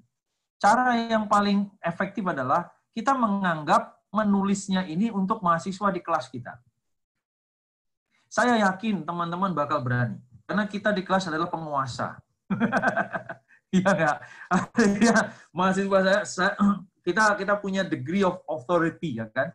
Jadi menulis seolah-olah ini adalah bahan kuliah buat mahasiswa di kelas kita sendiri. Nanti kalau sudah jadi, kalau misalnya masih khawatir, lebih baik menggunakan peer review, minta masukan dari teman. Karena kadang-kala teman kalau bisa memberikan masukan, itu bisa membesarkan hati. Nah, kalau saya refleksi pengalaman saya tadi, saya mengatakan, hmm, ya, saya muncul keberanian saya itu karena saya dulu berawal dari ghostwriter. Ketika saya menulis untuk orang lain dan nyatanya masuk, eh itu memberikan uh, apa ya berbunga-bunga. Lalu yang kedua, saya tadi sempat mengatakan saya jarang sekali memasang profil saya, bahkan foto saya, bahkan di beberapa webinar beberapa waktu lalu ketika saya mulai eh, melakukan webinar, ada beberapa teman-teman partisipan baru mengatakan saya baru kali ini bisa tahu siapa penulisnya selama ini saya pakai bukunya kan karena bagi saya dulu sama saya juga takut pak. Saya khawatir kalau orang itu tidak suka dengan tulisan saya atau gagal berlindung di balik nggak ada fotonya itu pak. Mungkin juga itu bisa membantu tanpa foto gitu, tanpa profile gitu. Kira-kira itu ya. Terima kasih. Oke. Ya, terima kasih Pak Fandi. Uh, ini berikutnya lagi nih Pak Fandi. Saya setuju sekali dengan pendapat Pak Fandi. Kalau seorang dosen itu memiliki sejuta ide, masuk bahan yang bisa ditulis dalam bentuk buku. Dosen juga ingin sekali mempunyai buku ajar atau buku teks. Masalahnya adalah manajemen waktu terkait dengan tugas-tugas rutin kantor dan rumah hmm. tangga. Mohon kiat-kiatnya bagaimana mengatur agar penulisan buku bisa terwujud meski dengan segala kendala tugas yang ada. Cool. Pertanyaan tipikal ya, tapi bukan karena ini saya pindah ke luar negeri loh ya. Tidak langsung ketawa deh. Hmm, begini, saya dulu juga sama ya, masalahnya ya. Seperti saya katakan dulu, saya jadi dosen, saya ngajar itu ya dulu saya gila kalau ngajar ya. Di kampus saya dulu saya ngajar 21 SKS, lalu saya dosen tamu di kota lain di Surabaya, itu saya ngajar 9 SKS, plus saya ngajar MM 6 SKS, terus saya konsultan, saya juga pejabat struktural, saya juga punya bisnis ternak teri tadi, ngantar anak dan istri, ya, karena semua tergantung pada saya ngantar jemput gitu kan. Ya. Gimana caranya mengatur waktu? Nah, saya menikmati kolaborasi. Karena karena memang susah mencari teman yang punya chemistry yang pas. Tapi ketika kita punya teman yang chemistry-nya pas, saling melengkapi, ada orang lain yang bisa ngoyak-ngoyak ya, ngejar saya untuk deadline. Lalu saya meng, nah sekarang lebih enak ya teman-teman ya punya teknologi, punya iPad, punya segala macam bisa menulis di mana pun kapan pun.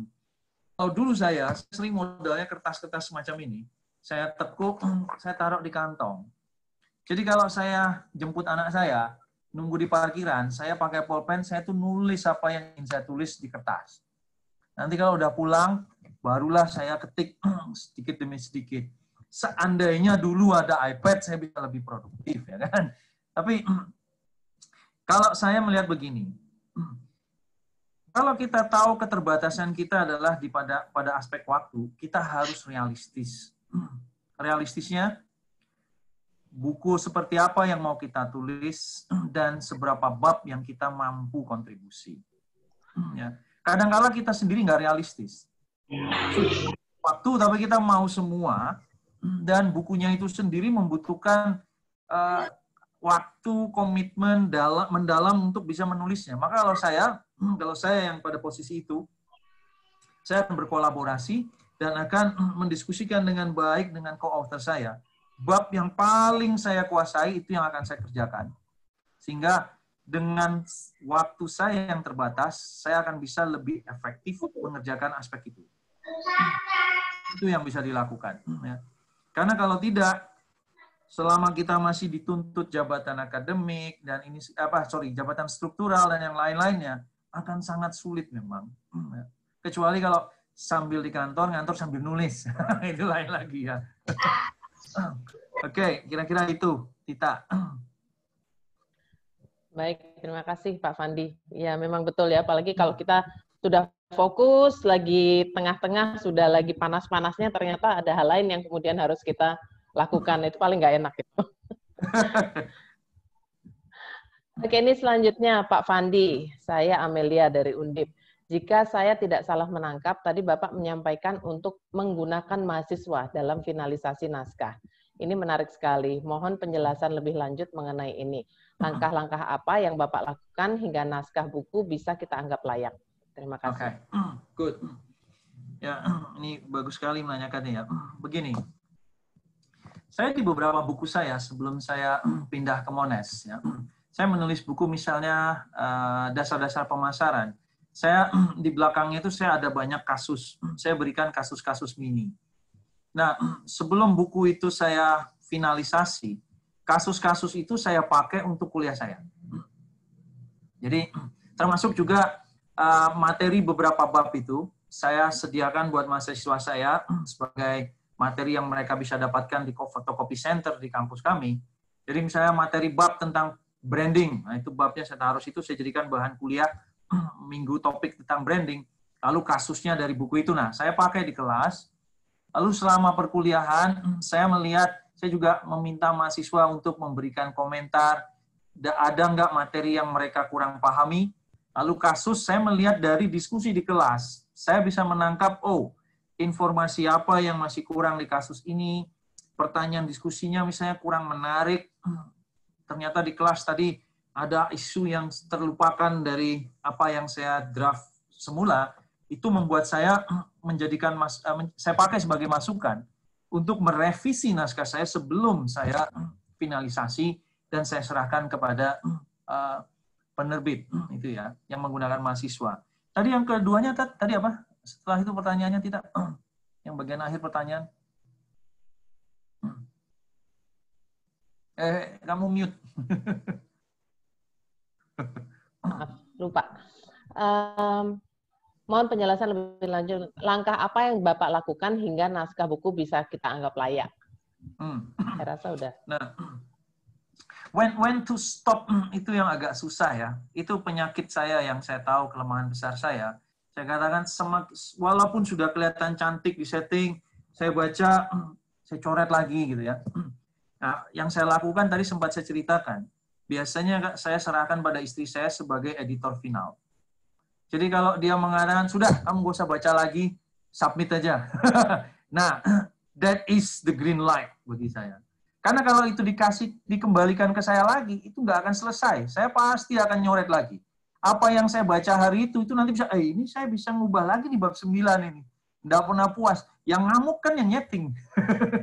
Karena saya meminta dia membantu saya setting. Kalau saya geser misalnya nih, misalnya ini, ini mengapa menjadi penting bagi saya. Bukunya 300 halaman ya. Sudah disetting dengan cakep, dengan cantik, dibuat pas setiap halaman genap ganjilnya. Lalu ketika saya lihat ini halaman 107 nih kalau saya tambah satu paragraf ini penting ini. Tapi kan yang teriak-teriak yang bengok kan yang setting. Ini kalau tambah satu paragraf, ih, geser semua, rusak semua kerjaku. Nah, ya udah. That is the sign that oke okay lah. Selama ini oke okay lah nanti aja lah nanti buat revisi kalau semua revisi. Itu, itu itu yang praktis yang saya lakukan. Ya, makasih. Oke. Wah, tapi tidak semua orang punya Diana ya. Kalau seandainya semua orang punya Diana, enak ini. Oke, terima kasih Pak Fandi jawabannya. Oke, berikutnya. Ketika sudah selesai menulis, kemudian menghubungi penerbit, saya diberi pilihan sistem beli putus atau sistem royalty. Menurut Bapak plus minusnya bagaimana? Baik untuk buku ajar, teks, dan review riset terkait segmentasi pembaca yang berbeda. Terima kasih.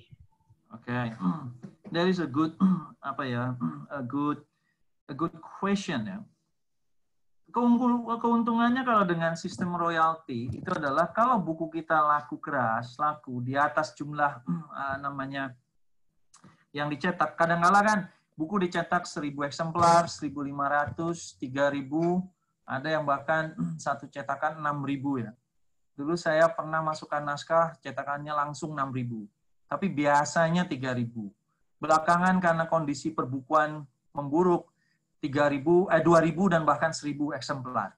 Ya. Nah, kalau buku kita bisa nembus jumlah itu, tentu saja lebih menarik menggunakan royalti. Ya, saya saya lebih tertarik royalti misalnya. Tetapi kadangkala itu tergantung pada bargaining power dan juga trust. Satu hal dalam sistem royalti, in God we trust, kan? Kita nggak pernah tahu berapa jumlah buku yang sebetulnya dicetak, terjual, dan terjual lunas dan dibayarkan kepada kita. Betul kan? Unless kita percaya 100% pada penerbitnya. Ya nggak? Dilaporkan 300 terjual. Kita komplain, kok cuma 300? Saya kok dengar buku saya dipakai di mana-mana. Nggak percaya, masuk aja ke gudang. Hitung sendiri sisanya. Kan kalah kita mesti. Ya nggak? Nah, beli putus. Beli putus ini menarik juga kalau teman-teman puas dengan angka yang ditawarkan. Nah, persoalannya adalah apa pun yang Anda putuskan, beli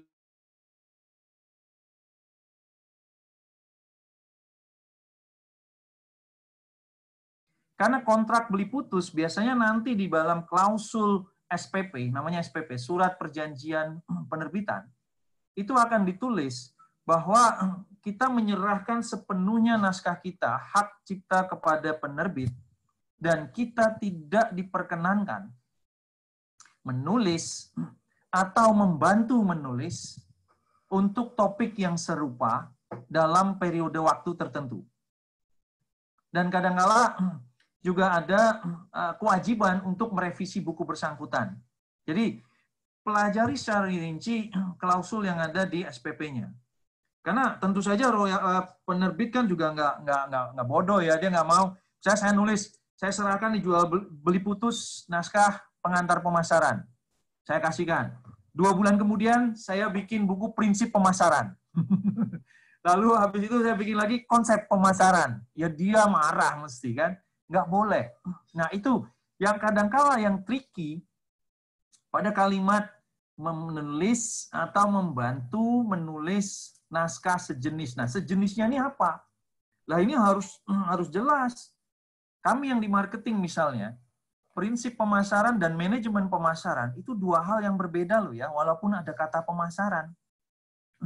Jangan sampai kita nggak nggak nggak nggak sama apa ya berbeda persepsi kekhawatiran saya, kalau nanti itu tidak dispesifikkan di sana, ibu bapak karena beli putus, nanti malah kita nggak bisa nulis buku lain yang ada kaitannya dengan itu. Kalau saya yang di bidang marketing, nggak boleh pakai kata pemasaran, hancur saya nanti. kan nggak bisa pemasaran jasa, pemasaran retail, pemasaran bisnis, pemasaran internasional, anything dengan kata pemasaran. Nah, itu yang roda dicermati. Nah, tapi ya, Sistem beli putus maupun royalti itu di mana pun lazim. Belum lama ini saya dengan beberapa teman, kami uh, mengkoordinasi sebuah uh, naskah buku kumpulan uh, research tentang business etiquette across 70 countries, buku bahasa Inggris. Kami memasukkan naskah kami ke penerbit Springer. Proposal kami sudah di ACC dan sekarang mulai jalan Nah, dengan Springer, mereka nggak menawarkan sistem royalti untuk buku kami itu. Dia menawarkan one time, putus, beli putus. Jumlah amount-nya dia sampaikan kepada kami lewat email, ini uh, nilai yang kami tawarkan untuk buku se setebal 700 halaman. Jadi misalnya kami sebut 700 halaman, ukuran fontnya berapa, jumlah katanya berapa ratus ribu, harganya segini. Kalian gimana? Oke okay nggak? Gitu ya. Nah, hal yang lain lagi, kadangkala sebagai penulis pemula ditawarin beli putus atau royalti, ini kan juga menjadi kesempatan untuk belajar ya. Kalau saya boleh memberikan saran ya dalam hal rekomendasi strict ya, selama royalti atau uang, eh sorry bukan royalti lah, karena selama koin bukan tujuan utama, saya lebih menyarankan pilih sistem royalti. Karena apa? Itu tidak akan membatasi teman-teman untuk menulis yang sejenis mau seperti apa pun. Dan toh nanti penjualannya kecil, uangnya dikit, itu adalah bagian dari belajar. Kalau koin bukan tujuan utama. Itu dari saya Tita, saya menjawab pertanyaannya tadi ya. Oke, terima kasih. Uh, selanjutnya Pak Fandi, yang terhormat Pak Fandi, mohon dijelaskan bagaimana trik agar kita dapat menulis buku yang baik bagi pemula dan trik agar tetap semangat dalam menulis. Nah ini penting ini. Agar tetap semangat dalam menulis. Caranya gimana ini Pak Fandi? Oke. Okay. Ini ini pertanyaan yang klasik buat ya supaya tetap semangat dan juga uh, sukses buat pemula ya. ya. Saya yang pertama menjaga semangat kalau menjaga semangat, saya pribadi, saya sering, saya selalu melakukannya adalah dengan ber, uh, mendatangi toko buku. Karena setiap saya lihat toko buku, saya lihat buku orang lain, itu muncul semangat karena, oh saya, aku harusnya cepet nih, bisa. Karena apa? Begitu saya lihat buku lain, ada keluar buku baru, itu panas ya. Wah ini ada buku di bidang saya nih, marketing. Ini saya kalau nggak cepat selesai, ini telat saya ini. Saya akan menjadikan hal semacam itu sebagai external motivation. Supaya saya makin cepat menyelesaikan, wah ini harus prioritas ini. Saya nggak bisa stop. Ya. Nah, sebagai pemula, kalau mau bagus, itu tadi saya, kalau di marketing kita nyebutnya ini adalah blue ocean strategy. Carilah topik buku atau mata kuliah yang belum banyak orang menulis.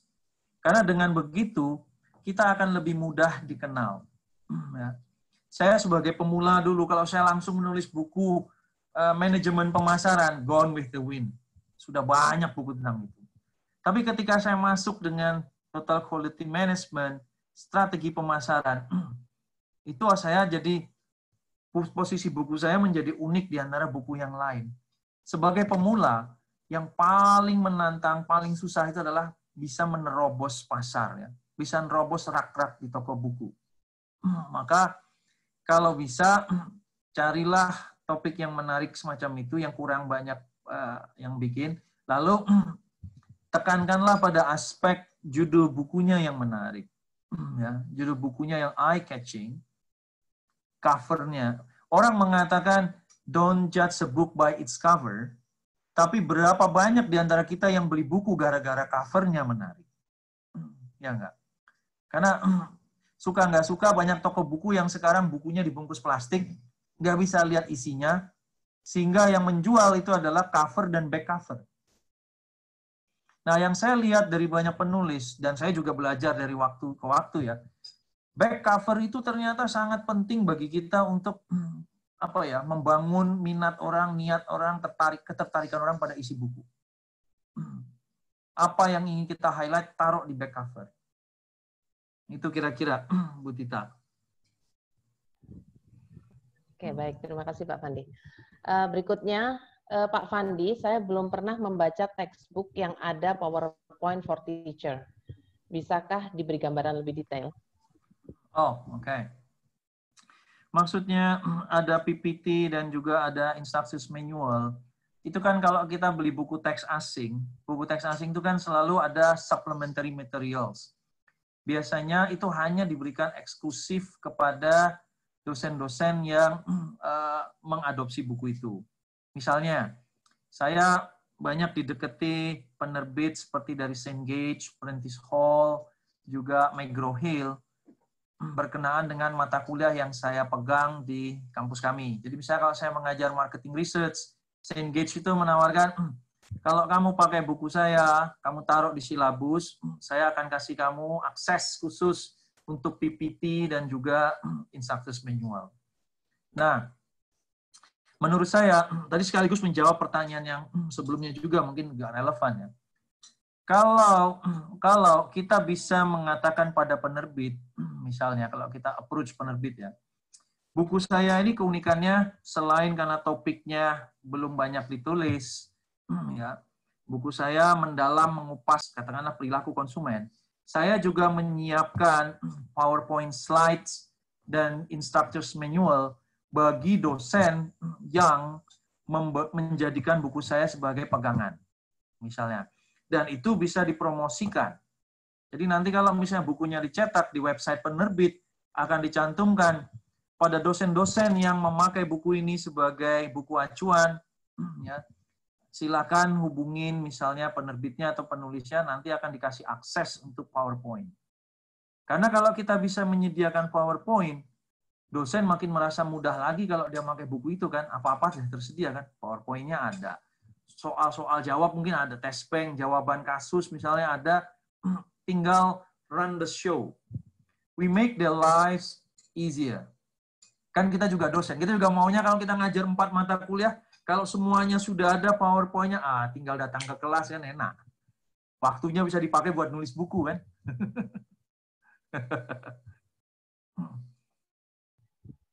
Oke, baik. Terima kasih Pak Fandi jawabannya. Kemudian berikutnya, kira-kira ada kiat untuk kami yang sering kejebak writer's block? Hmm. Semua orang pasti mengalami ya. Saya juga harus mengakui saya. Nah, apa yang saya lakukan? Saya saya ini juga kadang mudah mudah apa ya uh, mudah berganti uh, ketertarikannya. Saya punya dua naskah yang saya kasih saya, saya, saya pakai sebagai contoh perilaku konsumen dan riset pemasaran itu udah dua tahun udah rampung-rampung nih dua naskah ini. Nah, saya 12 bab rencana perilaku konsumen, 10 bab rencana riset pemasaran. Saya ngalaminya sebagian karena writer's block, sebagian juga karena keterbatasan waktu. Tapi blessing in disguise-nya, kadangkala saya berpikirnya positif begini. kalau saya mengerjakan beberapa naskah uh, secara simultan maupun dalam waktu yang yang acak gini ya, keuntungannya ada juga. Saat ini misalnya naskah A di folder saya 60% selesai. Naskah B 40% selesai. Saya punya komitmen untuk merampungkannya. Ya. Nah, ketika mungkin perjalanan waktu ini saya nggak produktif ini. Dua tahun ini misalnya saya nggak ada naskah buku yang benar-benar baru ya, selain revisi misalnya. Tapi akan ada saatnya nanti di mana saya menyelesaikan ini, yang itu juga akan cepat selesai. Saya akan ada saatnya dua buku ini akan apa rampung hampir bersamaan. But that is the blessing in disguise part ya. Tapi kalau writer's block, kadang-kala itu penyebabnya macam-macam. Ada satu kejenuhan Nah, kadang kalau saya sendiri, kalau saya jenuh, saya akan mencoba put that aside, tapi saya taruh di kalender saya, akan baliknya tanggal berapa. Karena mudah sekali ya, ditaruh seminggu, dua minggu lewat, sebulan lewat, tiga bulan lewat, satu semester berlalu, alamak, rampung-rampung bukunya. Itu kan yang kita alami kan. Nah, kalau kita punya co-author, itu ada orang yang bisa mengingatkan. Itu itu itu pentingnya kalau punya kolaborator. Kalau enggak, writer's block ini bisa diatasi dengan gimana? Kita mengatasi kejenuhan dengan mengerjakan hal yang lain sementara. Ya. Kalau saya pribadi, saya mengatasi writer's block itu nonton sepak bola, dengar musik, atau saya lihat buku orang. Karena dengan melihat buku orang lain itu betul-betul memacu saya untuk menyelesaikan dengan lebih cepat. Itu kalau saya dan mungkin teman-teman pasti punya nanti menemukan cara-cara tersendiri ya mengatasi writer's block ini ya. Apakah karena kejenuhan, karena kurang pede. Tapi kadang-kala writer's block ini bisa karena kita betul-betul mentok loh ya. Misalnya ini, waktu saya menulis buku TKM, ada satu bab yang saya tahu itu penting, harus ada. Tapi itu bukan bidang saya. Misalnya bab itu waktu itu adalah tentang just in time. Ya tentang manufacturing just in time dan ABC costing, activity based costing sangat akuntansi. Gimana ini caranya? Nah, salah satu caranya kalau saya betul-betul merasa saya nggak bisa, akhirnya saya approach orang lain yang memang di bidang itu, saya tawarkan, bisa nggak bantu saya nulis satu bab ini? Jadi menawarkan nanti, oke, okay, kamu masuk namamu di antara tim penulis misalnya, atau penulis bab itu yang saya saya kasih acknowledgement di sana. Karena ini tergantung penyebab spesifik writer's block-nya. Karena dugaan saya kebanyakan itu writer's block yang kita maksud sering kali karena nggak ada waktu atau karena bosan. Nah itu yang yang yang susah. Nah, Oke? Okay? Oke Pak Fandi terima kasih. Uh, itu tadi saya rasa pertanyaan ya pertanyaan yang terakhir. Oh. Jadi uh, ini terima kasih sekali atas nama dari Departemen Aquakultur, Fakultas Perikanan dan Ilmu Kelautan atas sharing knowledge-nya dari Pak Pandi. Jadi kalau boleh saya uh, wrap up ya, intisari hmm. daripada uh, pembicaraan pada pagi hari ini bahwa kalau kita mau menulis buku adalah just do it. Kemudian membuat judul yang eye catching dan juga cover yang menarik. Jadi itu mungkin bisa menjadi uh, apa namanya pemasaran yang juga uh, orang akan bisa melihat dan tertarik untuk membeli buku kita ya Pak Fandi. Satu ya. hal Pak Fandi, saya mungkin mau tanya, sekarang itu banyak yang e-book ya. Hmm. Itu kalau seandainya kalau menurut Pak Pandi lebih efektif yang mana? Kita kalau untuk uh, dalam hal apa namanya acknowledgement dari orang ya untuk membeli buku atau membaca hmm. buku itu apakah lebih baik dengan cara e-book atau tetap dengan cara um, melalui penerbitan percetakan okay. Thank you. Itu juga sudah cukup lama saya diskusikan dengan teman-teman saya di penerbitan ya. Itu menjawab pertanyaan ini memang kompleks ya. Yang pertama begini, di konteks Indonesia saat ini, kalau model ini tergantung model e-book mana.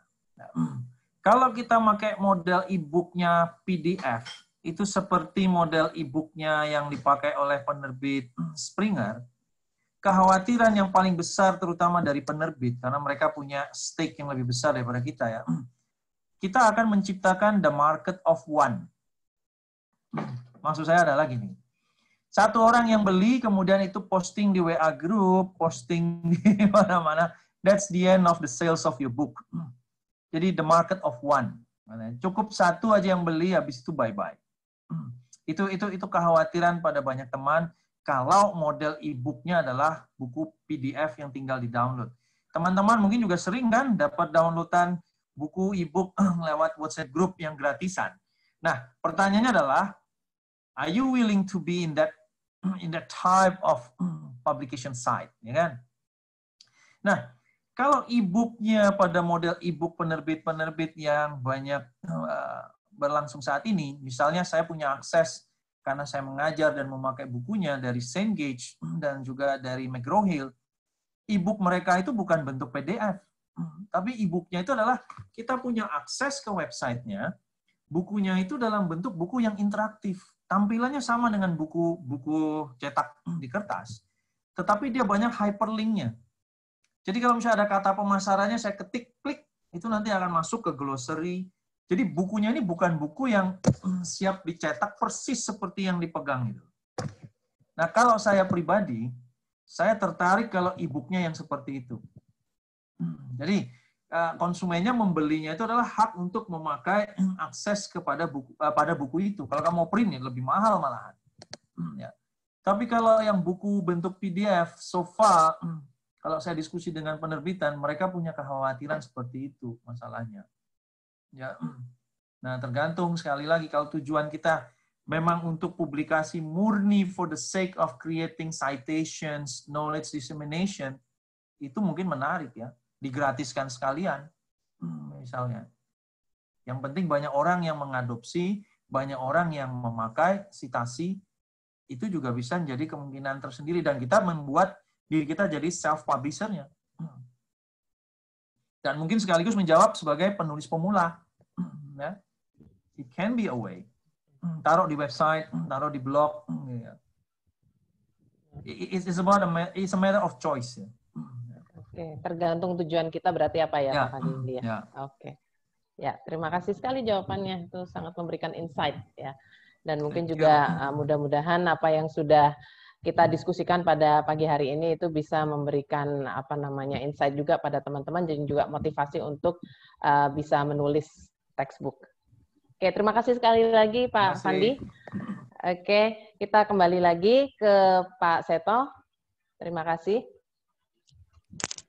Oke, terima kasih kepada Bu Tita selaku moderator dan Pak Fandi selaku narasumber. Sangat menarik sekali ya Pak Fandi ya. Pak Fandi saya ingin bertanya sebelumnya Pak Fandi, kira-kira buku favorit Pak Fandi yang uh, bisa menjadi saran untuk kami-kami baca itu kira-kira apa ya Pak Fandi ya? Buku favoritnya Favorit Pak Fandi. Buku favoritnya oh, Pak Fandi. Buku yang dibaca oleh Pak Fandi, bukan berarti oh. yang hasilnya Oh iya iya iya. Saya paling suka baca Harry Potter. Oh, sama Pak Fandi, saya juga. Buku favorit yeah. saya dari Harry Potter itu adalah Prisoners of uh, Prisoner of Azkaban. Azkaban. Oh yang nomor tiga ya Pak Fandi ya? Ya. Saya oh sama saya juga. Wah, nanti kalau Pak Fandi pulang ke Indonesia kita bisa cerita-cerita sama-sama tentang Harry Potter ya Pak Fandi ya? Iya, iya. Oke, terima kasih kepada Pak Fandi dan saya ucapkan terima kasih kepada seluruh peserta webinar series ketiga dari Departemen Aquaculture mengenai How to Write an Interesting and Best-Selling Textbook. Semoga memberikan manfaat bagi kita semua dan memberikan semangat bagi kita untuk bisa menjadi penulis yang baik seperti Pak Fandi. Kemudian untuk seluruh peserta yang sudah mengisi link uh, absensi akan mendapatkan sertifikat beserta link untuk bisa mendownload materi yang diberikan oleh Pak Fandi pada pagi hari ini. Uh, saya rasa sudah cukup dan semoga kita semua dalam keadaan sehat walafiat. Saya selaku uh, eh, MC dan juga perwakilan dari Departemen Aquakultur Fakultas Perikanan dan Ilmu Kelautan Universitas Ponegoro. Sekali lagi mengucapkan terima kasih dan permohonan maaf apabila dalam pelaksanaan seminar pada pagi hari ini masih terdapat kekurangan. Akhir kata, selamat siang, selamat beraktivitas, dan sampai jumpa. Terima kasih. Terima kasih.